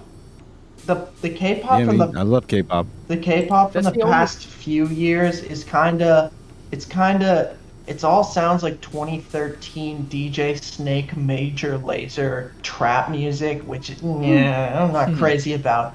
But like bef- prior to that, like uh, Girls' Generation and uh, SHINee and TVXQ and uh, of course AOA and like that that there's just so so many cool sounds and like the, the the production's really cool. But I found this I found this record at the Silver Platters record store in in Bellevue where we're from. Uh, that just had like this cool Keith Rankin looking album art. Huh. Uh, I was like, I Wow. don't even know Very what this cool. is. It, it's all in Korean and it doesn't say anything on it, so I can't search it up. So I'm just gonna buy it. And then I bought it and I was like, it was like s- this amazing like slow K-pop music that I ended up sampling on some Millennium Edition stuff. Awesome. And then and then Wow. and then through that like I just recorded it directly from my record player into my computer and slowed it down. But the, from that I, I, I ended up searching it up and found this channel. I'm about to s- I'm about to leak my my biggest sample source. Um, Oh my god. Oh shit, you Uh, heard it here on Hot for a Takes. lot of Oh, you music. hear it here on Hot It's Takes. this YouTube channel called Shin Beom Lee, uh, S H I N B E O M L E E, and like it's just all um, K-pop music and and really cool like Korean, just Korean. There's like R and B, a lot of R and B, and like big, big band kind of techno like hard like stuff, and all from the 90s to 2000s and there's just so much gold i've sampled like maybe 15 songs from from that channel alone Wow. and like i i, I think I, I think personally like i love how k-pop it's they're trying to imitate an older era of american pop music almost when they do music It's Like- interesting. like I feel like a lot of 2009, 2008, 2009 K-pop was kind of reminiscent of like R&B stuff from 2003, like um, and and like uh, what what do you call it? Snap music, snap music, like Lil Jon or whatever. And I just think I just Oh, um, think that's really cool. Like Crunk? crunk music. Not not not necessarily crunk. There was this there was a whole like subgenre of called like snap. Not necessarily. I was gonna say you're you're a little bit of a uh, an R and B and hip hop like guru. I've noticed whenever you, you jump on turntable, for you're sure. constantly playing like old '90s R and B and 2000s like hip hop shit. Me? Yeah, yeah, you. Uh, yeah, no, I, I, I love. I ever since we started making um, the Phone Sex album, I've been, I've been like really all about that shit. I'm a big fan of Luther Vandross. I Yeah. think Luther mm-hmm. Vandross has like Yeah. the best voice of all time, and like his last Phenomenal. It really cuts through instruments. His voice. You know Yeah. what I mean? Like it's amazing. It does. his, his That's where Nathan hits the. Is that something you two agree on? too. Like, is that some Yeah. shit you Well, guys yeah, agree that- on? I feel like we both got into that shit at the same time when he, he was living here. Yeah. Like we both kind of figured that out. Like how how do you think we? I don't really remember, but like, I guess we.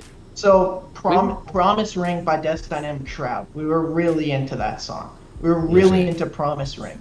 And from that, I looked up the sample, found Babyface as soon as I get home from work. And then I realized that, like, um, Way You. Way You I love that song. Yeah. Te- she's tele- more- telepath sampled that, then we sampled that. Yeah, that was also produced by Beatles song. Babyface. And Yeah. the song Thigh Gap from Classroom Sex Tape. Uh, it's like this weird, like it's like '50s doo wop, which I'm not, I'm, I'm not crazy about that, but the way Yeah. that Tech like layered it on top of each other a million times sounded so cool. That was also Babyface, so I just started looking at Babyface, I, and showed Will a bunch of songs, and then one day Will was just like, "What was that one Babyface song?" And like we found it, it was a mad and sexy cool girl. And we were like, damn, this shit is awesome. And then from there, we just started getting into a bunch of 2000s, 90s R&B, like, I think that was it. Yeah. and, we- and we fucking- watched um, we watched Juice. The Oh, Juice is wild. Yeah. The one where he's like I super I that evil. on VHS. Juice Yeah, is we wild. Yeah, that. Tupac is like the worst person imaginable. Like He's so Yeah, evil, yeah. dude. We, but he's we, like just shooting everybody halfway through the movie. He's just like, all right, you're dead. Like I'm just shooting you now. yeah, that that movie was funny, but The yeah, the song that plays in the record store, Uh, the when they're, record they're store. hitting the lick on the record store. when they're stealing records and he's flirting with the um like shopkeeper or whatever is the second song on Sex Line, Mm. Uh, oh, wild. which is wow. yeah. So like we watched that shit and heard that and like Yeah. I found You it. You guys are mad Wow. sample hunters, dude. Yeah, it's really interesting how you both got into this uh, this this genre, this this a period of music around the same time, and then it kind of led to the genesis of this album. Basically, is this Right. correct? oh yeah. Yeah. Yeah, Wow. like I remember listening. I was stoned as hell on my back porch, and just with my speaker, and I put on. I was looking through Babyface, and I saw the album that that sample is from, "Grown and Sexy," Grown and Yeah. and it was sexy. like a later album, Grown like and 2009 or something. It is, yeah. And so I was like, "This is probably Heat," and so I. Uh-huh. Mad sexy cool, like I was like playing that, and then I was like, "Yo, holy shit, this song is it!" And then I, we immediately went in and worked for like a few hours Yeah. on, on that song and got it to pretty much like Where- where it apart is from now. the credits, pretty much where it is now. And that's when we were like, "Yo, holy shit! Like we're doing a whole album, and it's like '90s R&B sex themed." Hell And yeah. I started listening to a fuck ton of that shit. Yeah. I like that all of But your like- albums kind of have a concept. That's nice. It's That's what I It's kind of a Yeah, lighthearted that's- concept. Yeah. Yeah. It's this- fun. Go ahead. Oh no, it's just it's just fun because you can really feel the passion you guys have for that music in that album, and it's just like it's all over. It's all like this. These like you can tell like was like wow, they they were really excited about what they were doing, and they were really Mhm. excited sitting and playing with these samples, and they probably just like had the best time. You know, Oh, dude, through watching them play live this. is also extremely enjoyable. They're clearly having a hell of a time. It, Like- it, the process of making it, especially like starting to make this stuff, is so Yeah. much fucking fun because, especially with this last album, like everything just fell into place so perfectly. Like I feel Mhm. every every early 2000s, late 90s R&B song had like a phone call with a sexy voice and like right. Yeah. yeah, they really. There's so many that have that. I'd say all the albums did kind of like like when creating this concept like no wonder a why it's the phone ago, concept now. Now I get it. Of- Right. I clicked oh, like, it's true. It's right on, spot on. Yeah. Without being obvious. That's spot on without being obvious. I love Mhm. it. It's a spot on like trope that happens in all those songs, and you turned it into like a sex hotline concept. But go And, ahead. like, I didn't mean thing to interrupt. I feel like the thing is with that and with the previous albums, like we didn't really know like, oh yeah, like we should make it sex line because a lot of these albums have phone shit and like sex line shit or whatever. Like we Yeah. were like, this shit is fire. Eyeclick as a running thing is like kind of has like a technology phone thing to do with it. Yeah.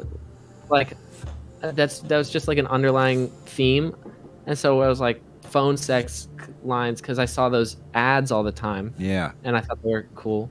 And then it just happened that all those songs have that shit. And Yeah, it's the it same with really did. Unbelievable. Like making laundry, I I was just in a laundromat and I was like, you know, laundromat's pretty fucking vaporwave.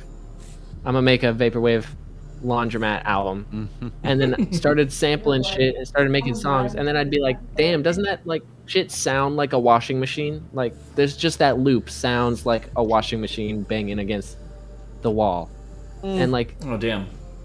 ecstasy market like the theme for that is like a trip or whatever like Yeah. or like a store where you buy like every illegal drug or every drug ever Ecstasy Market didn't start out as a concept. exactly um, it started out Oh, as a didn't? as, as a compilation of tracks that we'd made like from before the first album because we Wow. always were like "I click is going to be a thing sometime Yeah. but we never really like got down to it and so we just made a bunch of random tracks and then we were like well fucking this label who shouldn't be named is looking for an album like this these next couple albums which we had lined up this one and the one that's going to come out when it's done uh, were already like kind of being made and so we Oh. were like all right well we don't want to give any of those yet because that shit's really good and we want to wait until people like will listen to that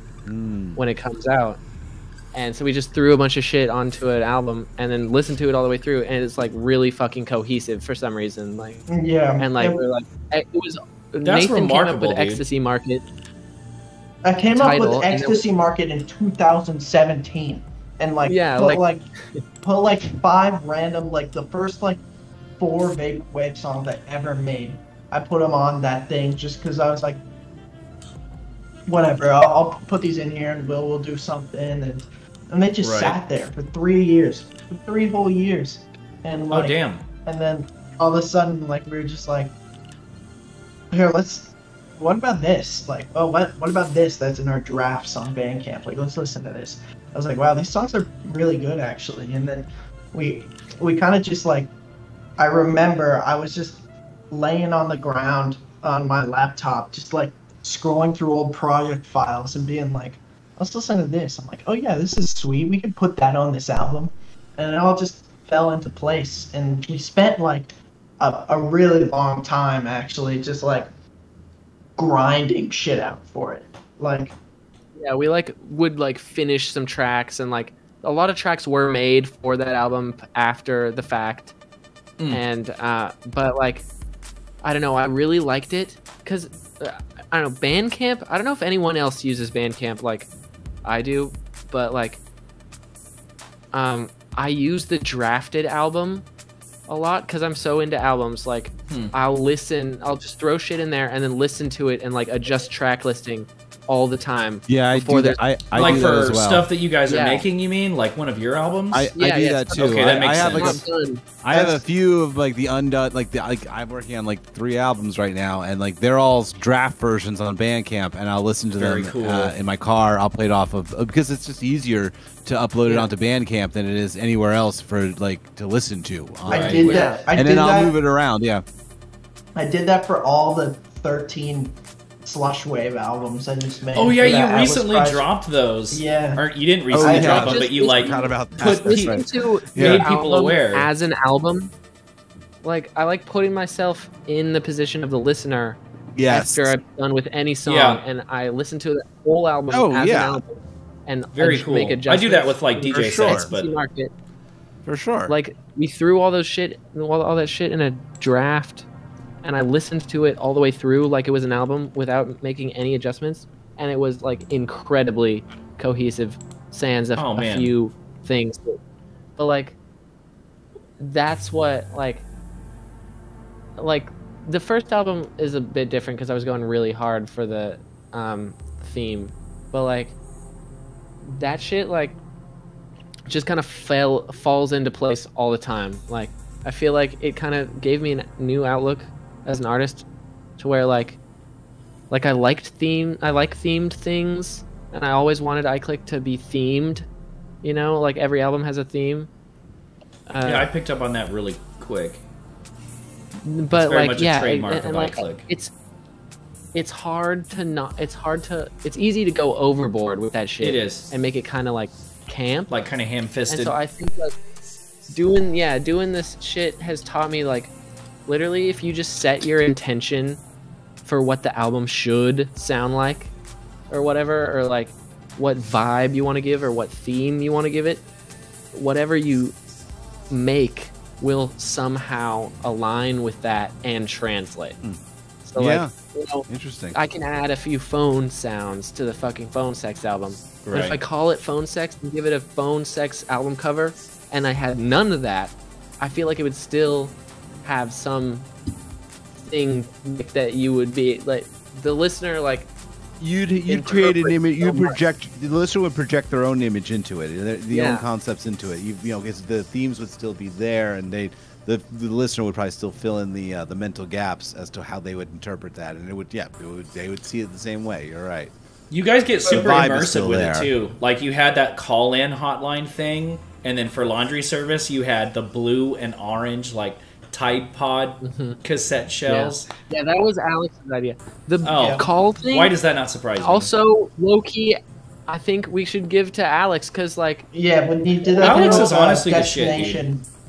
destination. Data Girl, Destination Spa, yeah. I, I they did that, and I called it, and I was like, "Yo, this shit is fucking rad." And I was like, "Sex Line" was already an idea, and I was like, "Yo, we're doing that shit. We're stealing that." Like, mm-hmm, mm-hmm, Well, we, we, we couldn't not do that shit. Like, yeah, like that shit's fucking fire. And you can still call the number, and I still text people. from Hell like, yeah. That's so. Hey, fun. Monica has a super good question. Uh, she says, "What's to come next with Eyeclick? What are you guys inspired by now?" our the first album we planned to make, the only album we plan. I I thought it was just gonna be one album, one vaporwave album that we were gonna make, and it was gonna be weird and s- social media focused, focused on social media and like clickbait and like I love that. crazy Yeah, news, that- scrolling through Instagram. If that, That was an is- album, that is it. Our next album, um, is what. So yeah, like, iClick was formed because we were on. We we used to be on a radio show together, and Oh, wild. one of our friends was on it, and he said something like, we were talking about some social media thing or or the news, and he was he said like, you know, I click with my eye, like. Uh-huh. And No I- way. I, immediately was like, "Yo, like that sounds fucking tight." Like, and I had so much, I so many ideas out the get go, and I was driving Nathan around, and I was like, "Yo, like this is what we're fucking doing. We're making a vaporwave project called Eyeclick, and the album's gonna be called "I Click with My Eye," and it's gonna be like super social media theme. And I was really into Giant Claw at the time.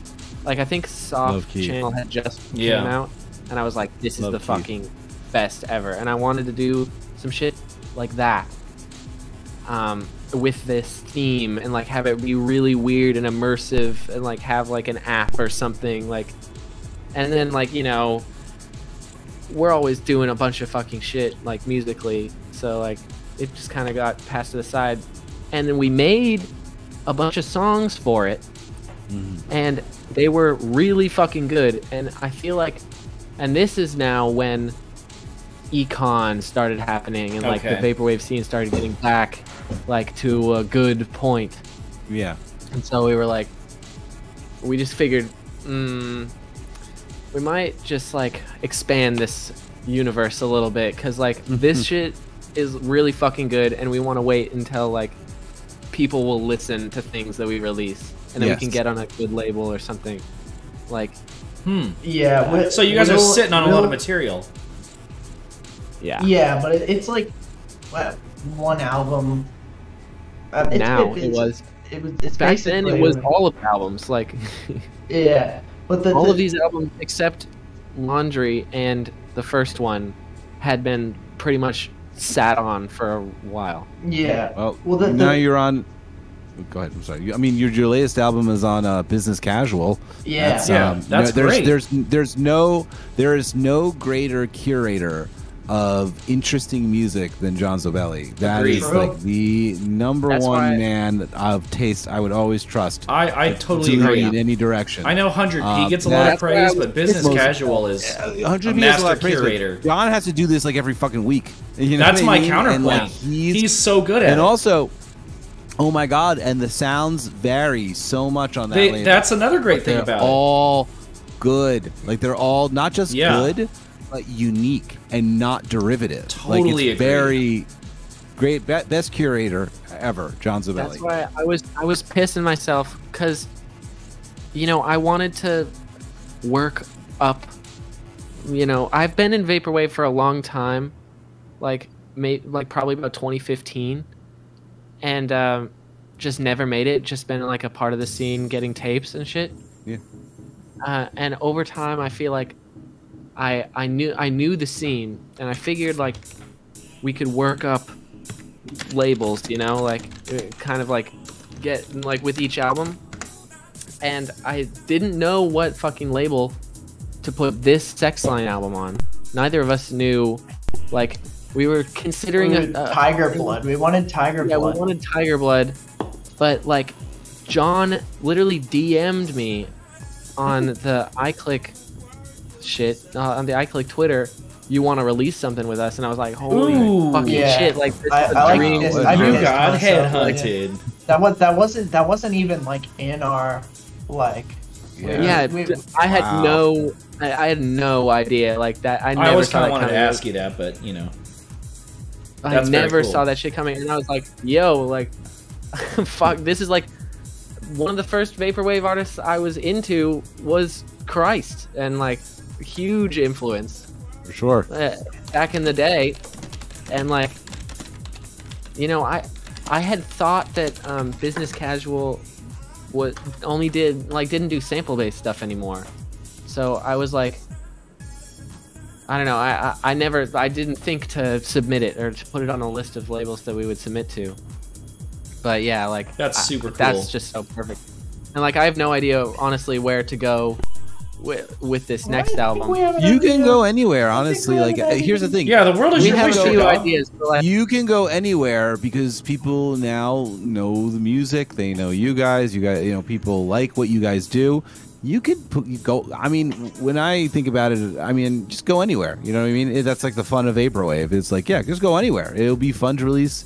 Yeah, it, it depends. Like, yeah, it's it, it's not a matter of bigger or smaller. It's a matter of, um, well, you know, I kind of like what this group is doing right here. I'd like to be a little bit associated with it. You know what I mean? That's Yeah. honestly you know, like the next thing I think, or whatever. I don't know. You just know there is no right or wrong for where you go next. You know what I mean, or what Mhm. you want to do, or et cetera, et yeah. I, I agree with that, and that's that's kind of my point. Is that like, I didn't I didn't think that we would we were at business casual level yet. you know. Yeah, But of course you are. Hit us up, and now, now with business casual release, I, I we can pretty much go everywhere, and so now I'm Mhm. like, fuck, like Hell yeah, dude. Gallstone's release, real man. quick, real quick, wanted to mention something. Will was talking about how he got into vapor early on in 2015. I had a little thought in my head. I was like, "That's not early on." That's not early early on. in 2010. And then, I, and then I was thinking, like, you know what? Fuck gatekeepers in this fucking scene, bro. Who cares?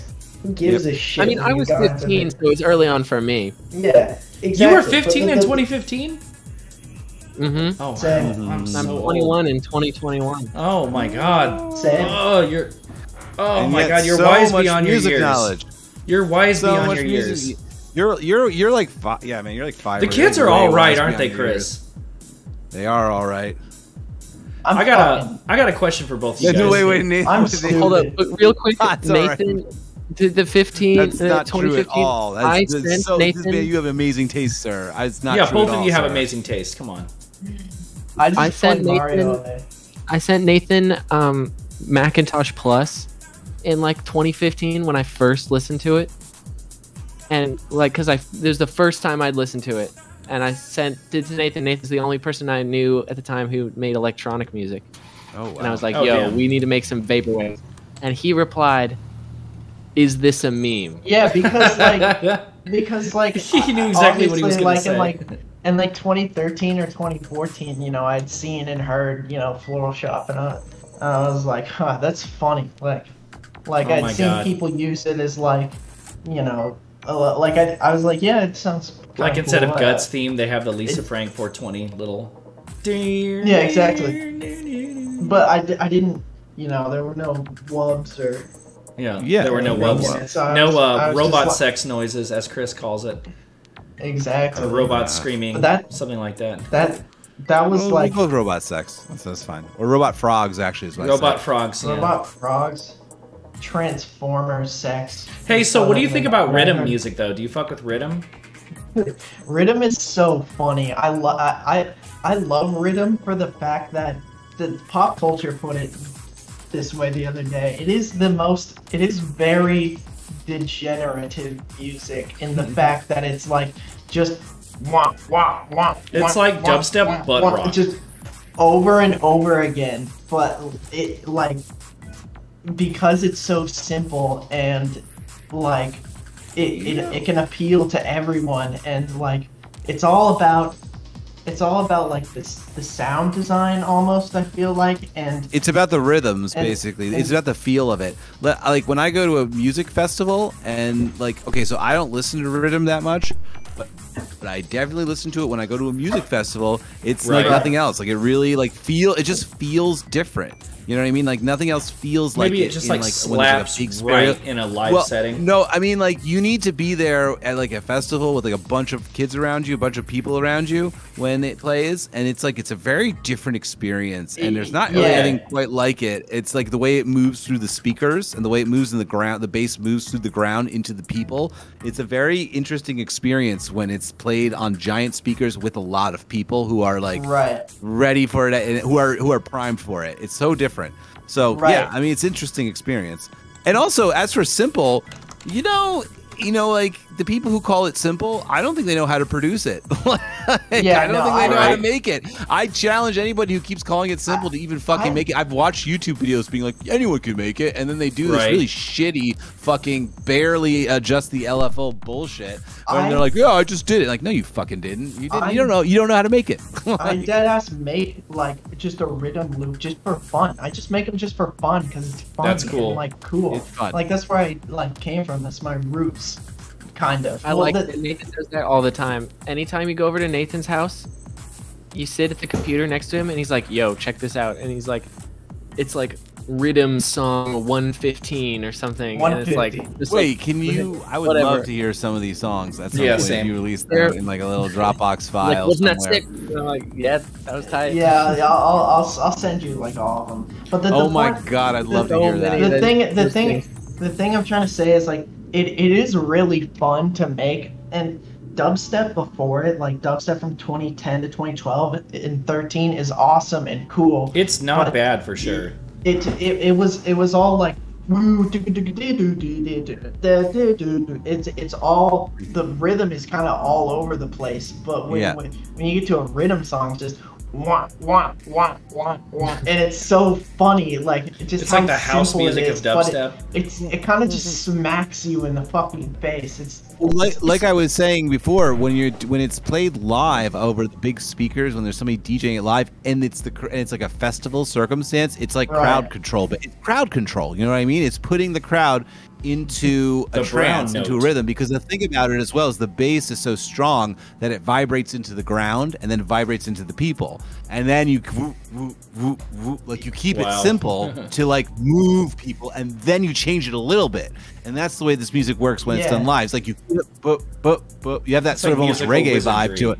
You have I- that I- you have that reggae vibe happening to it, where it's like or the reggae like sort of beat to do like like syncopation that is to say, and then you shake it a little bit, and then you know and you shake it and then stop it and shake it a little bit more, and then I- do a different type of shake, and it shakes the people as well. It's interesting when it's done in that circumstance. Go ahead, you're saying. I, I love watching videos of people DJing it because like there's because it's so simple they'll like go all out overboard and make an make an edit and of something just to like troll people to psych people out. Like they think it's gonna be one song but then it goes into a different one and they go eh, eh, eh, eh, and chop it up. They- like, they do that a lot in dubstep and riddim DJ, and it's just so funny. It's so funny. I have noticed It's that. like- the this brings me this this conversation brings me to a hot take ish that I have. Oh shit.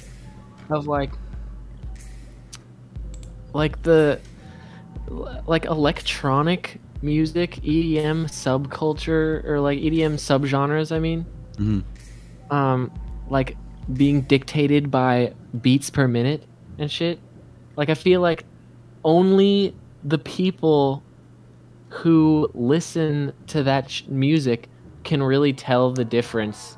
And i feel like electronic music is the only like genre. Edm i guess you'd say mean, is the can- only genre that you could really like You can say the Like, same feel shit about like what's the difference between signal wave and broken transmission? Like Yeah. nothing. Yeah, it- like it's, it's electronic music you know that I, I, I, electronic music be like that like there's all these subgenres are very hard to distinguish Oh my God! Wait, just like just go into the world of techno and then look at all the Oh, different yeah. sub sub Yeah. styles they call it Yeah, they do like- for that. like, I can't- They all sound the same I to think- me.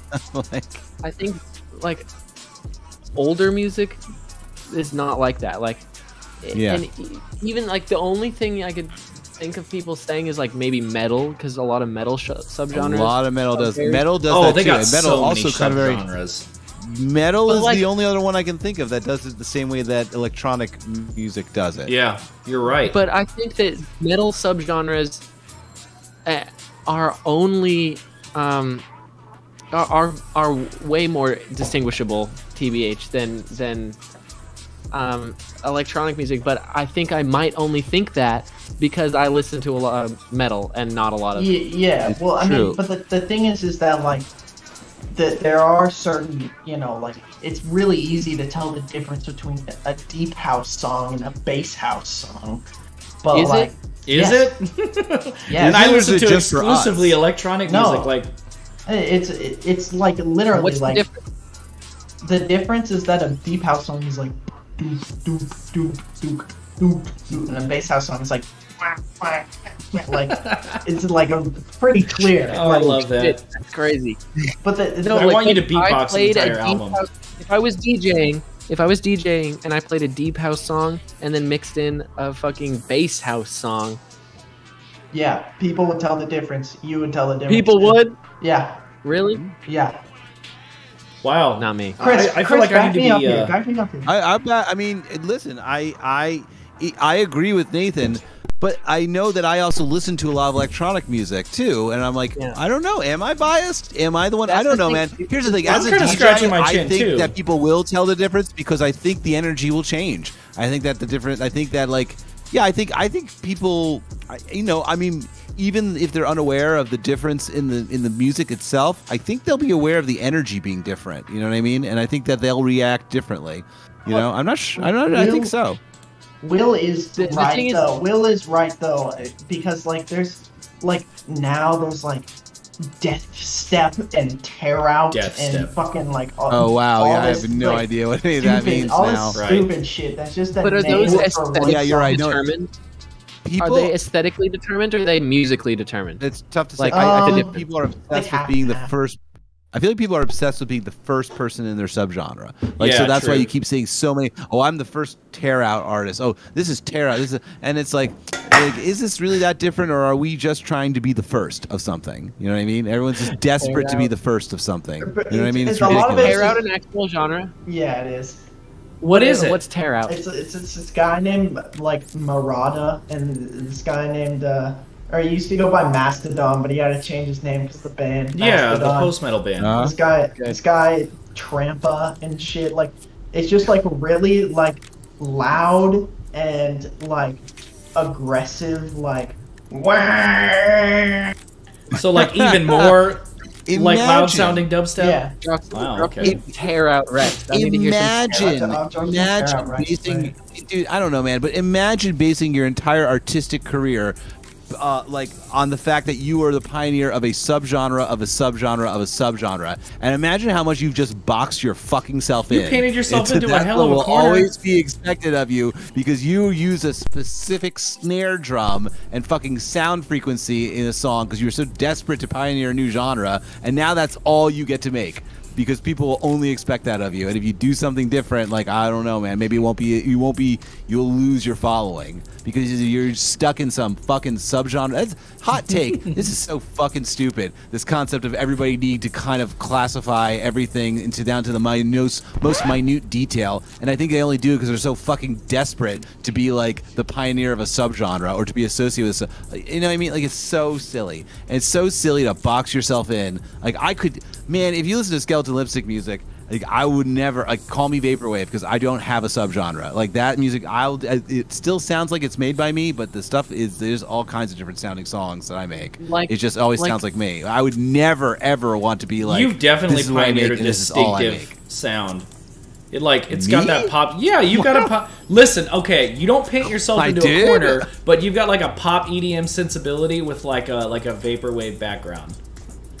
Okay, And your synth to palette's that, constantly though. evolving, Yeah. but like no, you're not doing Thank it to you. do it. Just you know, Yeah. I mean, I you grow and you that's a change and very you evolve. unique EDM thing. I, I've I've never heard of like a metal band doing like creating a genre or whatever like just to do that.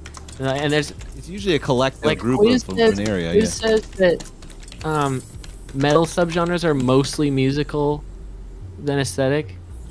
Um, Troll metal. and I'd say that might be untrue Hmm. Viking because metal. like the only thing that is different between gore grind and porno grind is the lyrical content. Like, you know, the, it's the same music. Pirate like, metal. Pretty much to the T. Like all these different grindcore subgenres, it's all like the aesthetic. You're already locked into the aesthetic of the sound, and now like people are your lyrics and imagery always has to be this, or else like Yeah, yeah. That's you why know you what gotta I have mean? Like, you multiple lose different your aliases, feelings. bro. Oh my god, different aliases. I don't Yeah, want to do. I don't. I know, but that's so much work to manage them all. and You're then that's like, now literally you're, now doing you're it. list- uh, me? Yeah, well, Oh, it's yeah, not a out yet, bit. but you know. Oh yeah, but that's one. Yeah, like- There's only Okay, one. yeah, War one. I mean, yeah. But it's like War it's like- metal and pirate metal and Viking metal, like that's all just cringe. I, I, it- Imagine it's having, so imagine all cringe. your albums have to be about pirates forever. And imagine you have to play pirate music But until the age of like Oh, 65. it's man. Y'all remember when like like, those 2 Irish punk rock bands bands were super popular? It's like that. You got to be like the the Irish punk rock bands phase of the mid two thousands. Yeah, The where drop- it's like fucking or Dropkick like or like uh like Roma people rock folk music like. And, and that just came and went. um, I saw some article on Hard Times that's like Dropkick Murphys put back into storage until next St. Patrick's Day. no shit, right? Shout out my Can I girl. Can I can I bring up a hot take? yes, let's hear let's hear your hot takes. You made a whole list of them. I have a. I they have, have to be. List right. We have to hear some This is of a list? There's a Yeah. list, dude. wait. We have to go through the hot takes. I can't wait to destroy your opinion with facts and logic. blank. Oh no. Oh, so you watch Rick and Morty as well? No, Will, Will's Will has to agree with this one, or else you're stupid. Blank Blank Banshee one better than Blank Banshee zero. Absolutely. yes. Says the man that Oh. plays teen pregnancy. I don't know. I know. I Blank mean, Banshee I, one I better.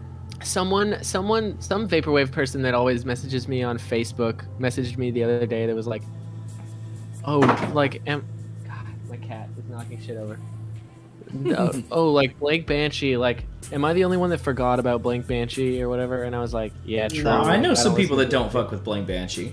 Uh, but I listened to Really? that album literally last night. I listened to Blank Banshee Zero, and I was like, "Yeah, this shit is fucking gas." Like, It's amazing. I can't believe that album. God damn, it's it's really. It, I don't know how that shit is like holds up and is still its own thing. like Often remember like often imitated by others, but the never fully repeated. You know, if what I you mean? have to make a list of vapor right. trap artists, Blank Banshee's like at the top. Well, No, because like they they're just so good. top. They're just like the, it's it can be like this. The sounds are like so like they feel like I feel like I'm like stuck in like a computer that has like a blank screen on it, and like the snares and the cymbals cut perfectly. Like it's crazy. They like hit I don't just and no one and no one gets It that. has a I've seen so many. I mean, so many artists try and like do that, and just man, they don't get the frequencies right. They don't get the sound textures right. I don't know what's wrong, but they're not getting the space correct in the same way that that he did, and still holds up today. Um, it's fascinating, like how well it's produced. When did that album come out? Oh my God! It was zero was that 2011. It's 2012, September 1st, 2012. Blank Yeah, Banshee one amazing. better. That's one of the first. Monica like, says- People still can't imitate it. I don't understand. Monica heard, says for man. Still Nathan to figured out how tell to us imitate it properly. your Blank Banshee. Blank tip that you Banshee one. Like Oh, you can I- say Blank Banshee one's better, but like Blank Banshee zero, the blueprint. Yes, for sure. And a blueprint that is It wasn't still focused nobody sounding enough. copies properly. Uh, True. Not It's even pretty Blank good. Banshee himself. Yeah, that's true. the- the they don't. It's amazing that people can't get that. Like they try and do it all the time, they never get it right. No one's ever gotten it right aside from him. So the, I think that the take Monica wants me to bring up is that I think that Mana Pool by Vaperror, even though it's not as, uh, let me say, like stylistically like fleshed out and full and like well produced and crazy as Blank Banshee is, I still prefer Mana Pool by Vaperror. E- Even It's though, solid. e- like, Well, just because of the simplicity and like I I I it's weird I because I feel like Blank Banshee is like objectively more detailed and cooler but I really fucking like Mana Pool by Vaperror even though Jeff's it's like synth palette is simple. amazing. well, yeah. Jeff's like got got this phenomenal like jazzy like vibe inside him, and in, in the way he makes music, Yeah. and then and his background in general, and like it's just it's like.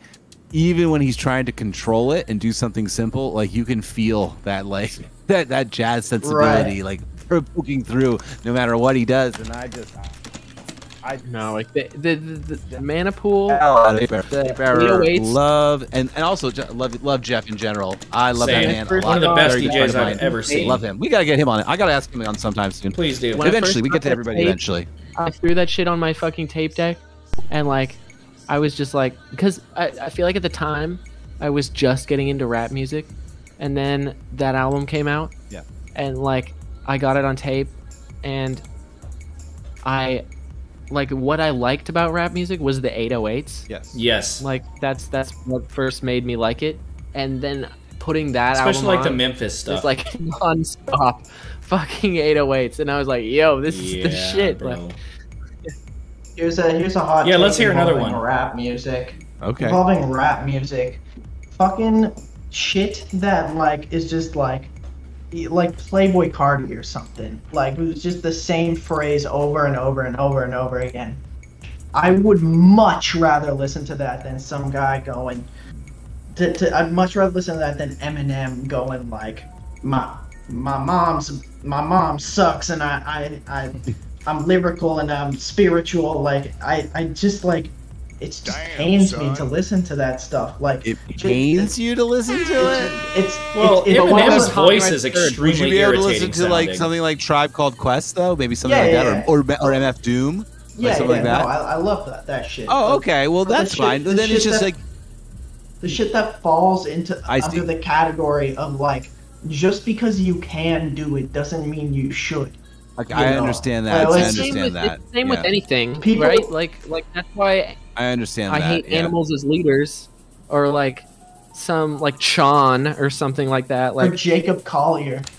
yeah, oh god, oh my like god. kill me. Like that shit is like, like Uh, yeah, I agree with all with what you that guys are shit's like ridiculous. Like Gentle Giant, my favorite band, is proggy as hell and does all this crazy musical shit that like is hard to wrap your head around theory wise, but they do it in a way that is like still groovy and musical. Yeah, You know, So the- that there's like you know that becomes masturbatory when you start sort of doing these things that are just like because you can, and you have to subject all of us to it. Like, like it's like in essence they're do they're just giving you a warm up, like their warm up, like a vocal warm up or like an instrumental warm up that they do to test their skills before they actually make the fucking music. And now they've actually just calling that music They're and giving flap it to track. you're like motherfucker, like that's for you. That's for you. Oh, that's funny. So it's like that. like, Like, I that. pissed off Lux and and Jez in the chat because the animals as leaders thing. But like, yeah, no, like the like fucking too many notes shit is annoying. Like, give me some like Gorguts shit where it's like a couple notes, but it's really weird. Like, The the you know, Jacob Collier is is the biggest thing. Is the biggest thing in this category for me because he's just like boop bap doo doo. Here's a BM plus seventeen over six, to, like in second inversion chord. Like just because you can do that doesn't mean it sounds good and I would want to listen to it again. Like it's it's just not. It, it Man, all that music theory class really did pay off. Yeah, like it, it, it made Wow. me hate that shit. Well, so I was in music theory class for two years, and I got to that point of like, here's why Mozart is like, blah blah blah blah blah blah blah, and, it, and like I was just like, I don't care. Like, the, uh, Mozart slaps. You're dumb. no, I, I didn't say Mozart's bad dipshit. When did I say that? What I was saying was, Mozart kind of what I mid. Was Classical music is different. Classical music is like a scientific study in shit like that. Like, yeah, and that's like, what I Beethoven a was. lot. Mozart is like a, Beethoven's like, always a big whole feel for me. That. Cash has a really good question. What is everybody's thought on math rock? Love it. I love math rock so much. Like, I, I mean, really yeah. love math. I don't listen to I li- that kind of shit. Tricot. Uh, Oh, have I put you onto Tricot's great. Tricot, Love Tricot, the Japanese band Tricot. Outstanding. Female, Japanese all female band. All female, right? Damn. Band Yeah, all female. Very um, cool. I listened to a lot of like mathy, I, or back in the day, I guess. Like I used to listen to like, a lot of mathy metal, like something like botch, math core, I guess. So I was like interested in that. I didn't listen to a lot like, of math rock. what about like Converge? Like, oh, Converge? Yeah, okay. Are we considering that math rock as well? Sure. Okay. I mean, right? Converge. Like, Or like technical metal. like the thing is with math rock, well, it's like- is its own fucking thing. That's like a that's like a, a whole spirit energy. right? But like. Yeah, like a also people math metalcore Slint type is math rock. Yeah, And, yeah, well, that's what I said about like Botch. I think Botch is a good example of that. Go, I'm sorry, Battles. saying. battles. I, I don't like battles. Hot You- take. that is a hot Battles take. is different. Because I mean, it's is not more for algebra listen. rock. Battles has No, like 'cause some battles is, decent like, tracks, the same but like song over and over again. That's what okay, I agree. like. And the vocals are always really annoying. Except when Gary Numan is on the vocals, that's when it's fire. Gary Numan Battles was has with good songs, but like, mm-hmm. I won't consider you a good artist if you don't have a good album all the way through. wow, Interesting. Damn, yeah, bro. But, like- absolutely. It's fair. What I'm what I was saying about math rock is like, there's so many different layers to math rock. There's like the fucking like Sean tappy bullshit, which I don't like, except for some artists do it like really well. And then there's like fucking like Cap'n Jazz or like Cap'n Jazz other- is like yeah, is uh interesting. They're like they're like or like mathy emo. Converge or like the people say like people say Slint is math rock and like they have This is like a very wide umbrella for math rock that I didn't really like- think about. Yeah, but yeah, I guess I do listen to Maybe a lot they of math rock. maybe that they have hella like- subgenres like, too. Algebra rock, but, but trigonometry the, the rock. thing is it doesn't have subgenres it's just math rock but they it all sounds like wildly different A lot of Persiatic sort of work. I see what you're saying. yeah Uh, we're running Like out of time. We by are. the way. let's get some more hot. that. Let's get some more hot takes in real fast before we have to start doing our Okay. shout outs. I can't believe Water- we, that's already been two hours. Same. Yeah. We do have Holy four shit, people. seriously? Now, here's the thing: is we do have four people this time, so like I can see Yeah, how I like, it could. went I could go time. for another. I could go for another five hours. yeah, I'm having a good me- time. let I would keep going if I didn't have to go Just to bed. read them all super fast. All right, Waterfront Dining really good, but his album art is terrible. um, Dra- Are yeah. Wow. Good. Yeah. Fair Are enough. true. My Dra- first Sure. viral tweet was of the Waterfront Dining album cover that like looks like it's a dick, and so I posted it, and then like Yeah. I wonder if that's a blocked choice. That must be a choice. I think on, on their yeah, part. he blocked. Didn't you Yeah, get he blocked? Oh my god. Wow. Wow. Oh my goodness. All right, Love Waterfront Dining. Dream Punk. What's the next is, one? Dream Punk is stupid boring. oh. Um, True. The caretaker is a really cool concept, but I don't need to listen to the whole thing, and I don't want to. that six hour album? Wrong. Yeah, I don't These are want to. these are No, great. yeah, that that is that is an honestly hot take. I'd say, um, fucking derelict mega tower, same thing. God damn. Wow. Derelict Mega These are great Towers. No. Derelict Mega Towers way more interesting though. The fucking caretaker kind is of. just. It's long James, as a bitch, James though. DDS. It sounds like James DDS. It's like, like I, I like it all. I, I like the whole thing. But the thing is, But, with like- Derelict Mega Towers, you can pick a track from midway through the album and be like, oh yeah, this goes with the caretaker. Yeah. It's like, It's like really one long track. No, that is true. That is true. That is true. It does uh, sound different, but but the but the like, I'm talking about that one caretaker album, and then they're like Mega Tower, like the one caretaker album being a million years long, and same with the DDS album. Like the DDS album is objectively way better, but like cooler in concept than like I'm not gonna like really listen to the whole thing or like get the chance to listen to the whole thing a lot Yeah. unless I'm on like a road trip when I want to, you know. Well, Yeah. You'll be on one All of right, those. more hot takes. Otherwise, caretaker. Yeah, let's keep them rolling. Keep Go. them rolling. This is really good. You guys are doing uh, excellent hot takes, by the way. This is great. Keep- keep musicals. all musicals and show tunes are are gross and corny. They're usually And, they're usually no, very I- boring. this strong Christ Superstar. disagree. Strong agree. Les Jesus Christ Superstar is is some of my favorite music I've ever heard in my life. I like Mis- Jesus Christ Superstar. Okay, that's I good. agree, yeah, that's Fiddler another on the Roof one. is good. Well, uh, anything I don't- pre anything pre like nineteen like fifty is just like Awesome. ugh. Okay, that's fine. All right, uh, more hot takes. More hot Yeah, takes. let's hear Keep some going. more. This is great. Um, this is real fun. you are a baby if you don't like mint chocolate chip. You're right. So. Ognos is a baby. true. Agree. Agree. Agree. Oh wait, it's Uh, not one more It's somebody else. One one more time is the worst track on Discovery. Mm, Oh, oh, you know, I think I. that Uh, might I, not. have- That might be true. That might not. I think be I. I agree with you. Actually, I like I that do. song. I like No, that and, song. and not saying It- it's a bad it's Jez song, that doesn't like you know mint what? chocolate chip. Yeah. Man, you're right. That's my least liked song on that album. Actually, now that I think about it, I really love that album, and I, it's not that I don't love that song, but yeah, I think I like every other song better than it on that album. Exactly, exactly. Um, uh, let's see here. Luther Vandross, best vocalist of all time. That's not even Very good. That's not even a hot take. Alexander Um, O'Neal second best. There's probably 13 really good future funk artists, and the rest of it I don't. Total care about. agree. I'd say that number is too high. Oh, you guys are I- so I- mean I- on this show to I- no, I thought- That's I- savage, but I totally at agree. I thought, I don't agree.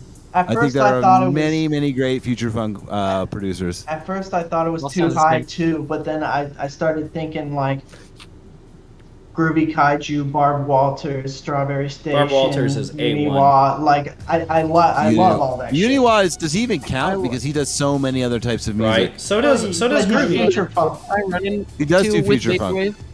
I run into this with Vaporwave a lot. Is where I love the person, but you know, I too. think that this is an interesting thing. I think that this is just a signal to the future funk artists out there to like, you know, if it were me and I made future funk all the time, like I'd be like, I see that as a challenge. I'll show Right. you, and I would make some really great stuff. do something Also, different, for also, let me just I'll go out and say it right now is that like two of the greatest producers in this scene, which would be Super Flat Mm. and um, Moe Shop, are future funk producers, and they are a thousand times better than most vaporwave, dream punk, or whatever fucking other subgenre producers out there, like a thousand times better than them. Damn. Superflat and uh, I- Moe Shop are I like the greatest love- producers in the scene, and they're future funk artists. So I will I say love- that there you go.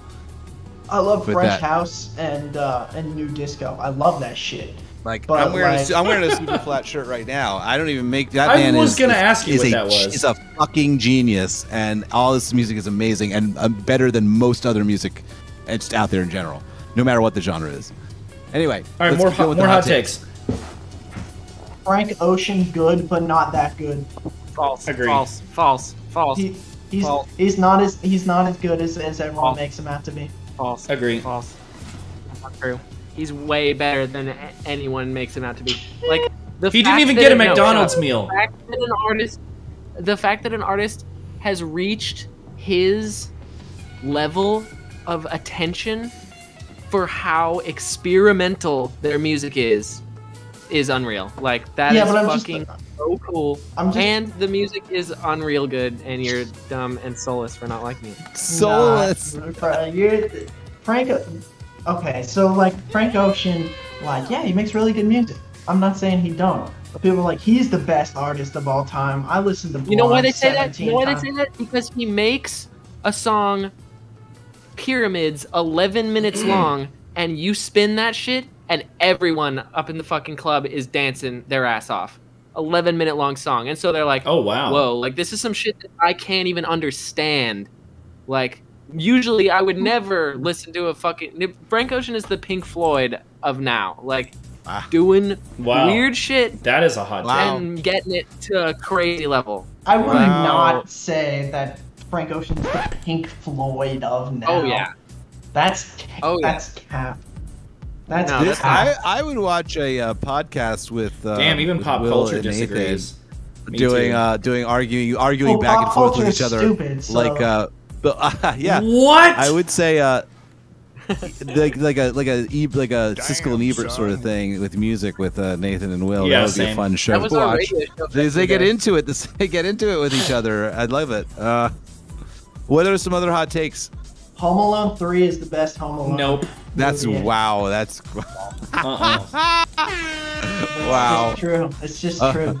What- That's what- like me. That's like when I bought. It doesn't Never even have Say Macaulay Die by Culkin Black in it. Sabbath on vinyl, and then said that that was the best Black Sabbath album just because I owned it on vinyl. Uh, no, no, mm, that's Quiz just agrees with you. untrue. exactly. Like, The Well, other Home back- Alone, the other Home Alone movies don't have a terrorist m- missile chip from North Korea getting intercepted by a little fucking kid and Jamie Foxx song in it. Like, Oh, True, yeah, it does true. have a Jamie Foxx song. statistic like, and you know how I am about movies too, and like that shit. Home Alone Three is incredible for that, and I love that.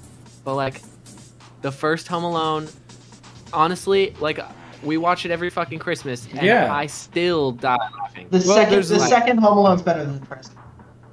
The second Home Alone is also really good. I don't know It about is. it's it, there's a bit of magic in this. Okay, what other hot takes do we have?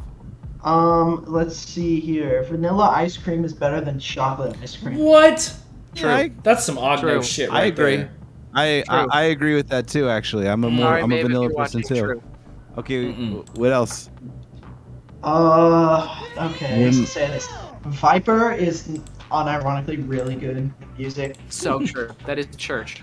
Like really Viper good. is like Yeah. as much as he's memed, he should be recognized for like the amount of good shit he has. Like, and and if you can go and randomly scroll through all the million albums and choose a random one and play a random song, and like if it's not a copy of another song, it's really good. Not defending anything that he's done. He's a fucking asshole. of course dick. Penis. Yeah. Man. But like that music is really good. Um that's about it for the hot Huh? takes. HKE has three good songs at most. Um Cold take. Agreed.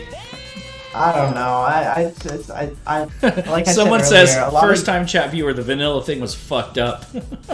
Hard agree. Welcome to hot takes. Guys, we got to wrap it up. Unfortunately, we like to do a spot at the end Yeah, of the night where we great time, let though. everybody. Me too. Everybody gets to kind of have the floor for a few minutes and promote anything they want to promote. So, um, Which one of you guys is younger? I am. Nathan. All right, Nathan goes first. Listen to uh, Eyeclick 1999 1999 sex line on Business cash. Oh, sick. by cassette. There's several left. Purchase it. Listen to it. I promise you, it is objectively better. Oh, than thank you so much for hitting us with that link, Lux. Lux is spamming Thank the you, link. Lux. What a homie. Shout out Luxury Lead. um, please listen to that and our other music. Um, listen to my single Refresh that I just dropped um, on Friday. It's pretty cool. Uh, if you're a fan of Enraile, please be patient. I have uh, a new album coming out sometime next year, but um, Adele fucked something up, so it's probably gonna take a while, even though it's been ready since May. Um, and uh, yeah, I've never seen The Godfather, Breaking Bad, Twin Peaks, Shawshank Redemption, Inception, Schindler's List, Fight Club, The Matrix, Interstellar, Terminator, The Shining, or 2001: A Space Odyssey. Oh, Uh, now it's now it's Will's turn.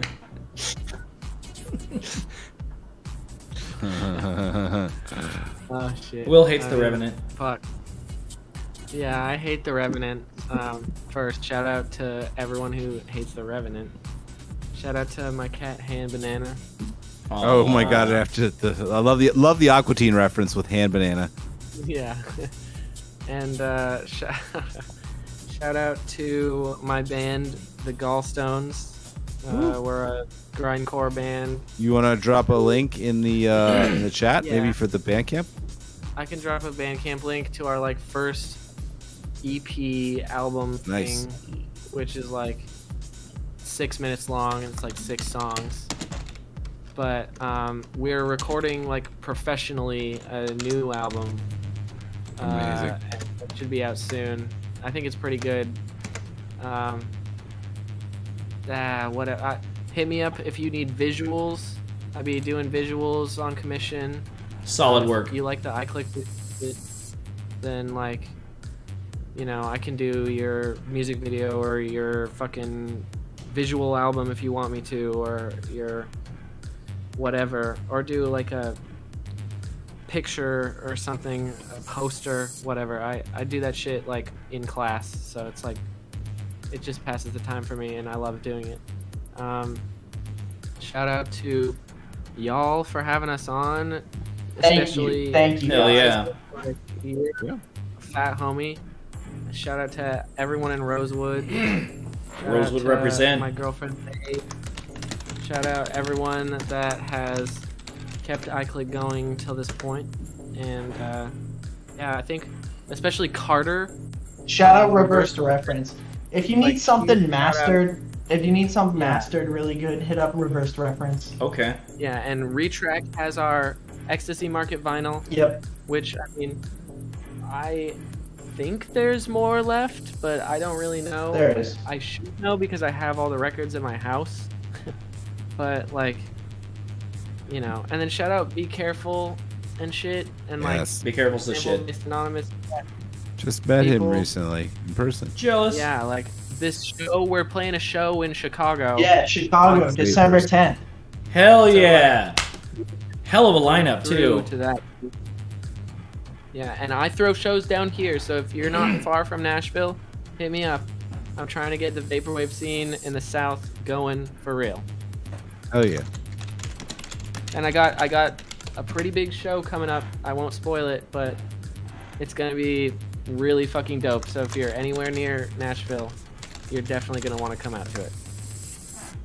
Very cool. And yeah, that's all I have. All right, I'll make mine real quick because um, I'm younger than Chris.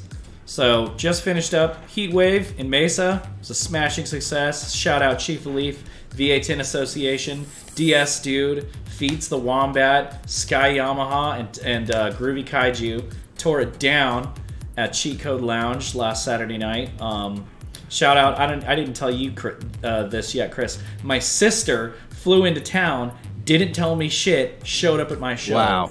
It was amazing. Oh, that's so adorable. It was so Love cool. that. She got to see me throw down some uh, some vapor funk, Got my setup on SoundCloud along with the Virtual Memory 27 set.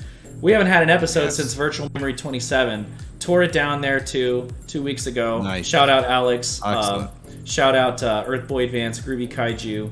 Um, um, spacing on who else played with me besides oh Mittens. Oh, Mittens is an extremely extremely skilled DJ by the way. Um, so I've got both sets up on SoundCloud. Great working with Pacific Plaza and the VA10 Association. Um, this weekend we have Helios Online. It's Ming Curry's birthday. Happy birthday, Ming Curry! So Ming Happy Curry. birthday, love Ming Curry. birthday. Happy birthday, Yeah, Ming shout out Ming We love Curry. So me, Lux, and a handful of other big names. I think Windows 96, Rashida Prime, Nathan are all going to be on the lineup Saturday. They're going from like early in the morning all night long. So it's a long one. Um, my set's actually at 4:20 Central Time. It's a How 20 minute wave music set. I already mentioned you and uh, Oh, I love your it. partner will probably love it. I pulled out all the stops. Absolutely. Uh, visuals Can't by wait. Sleep Pattern.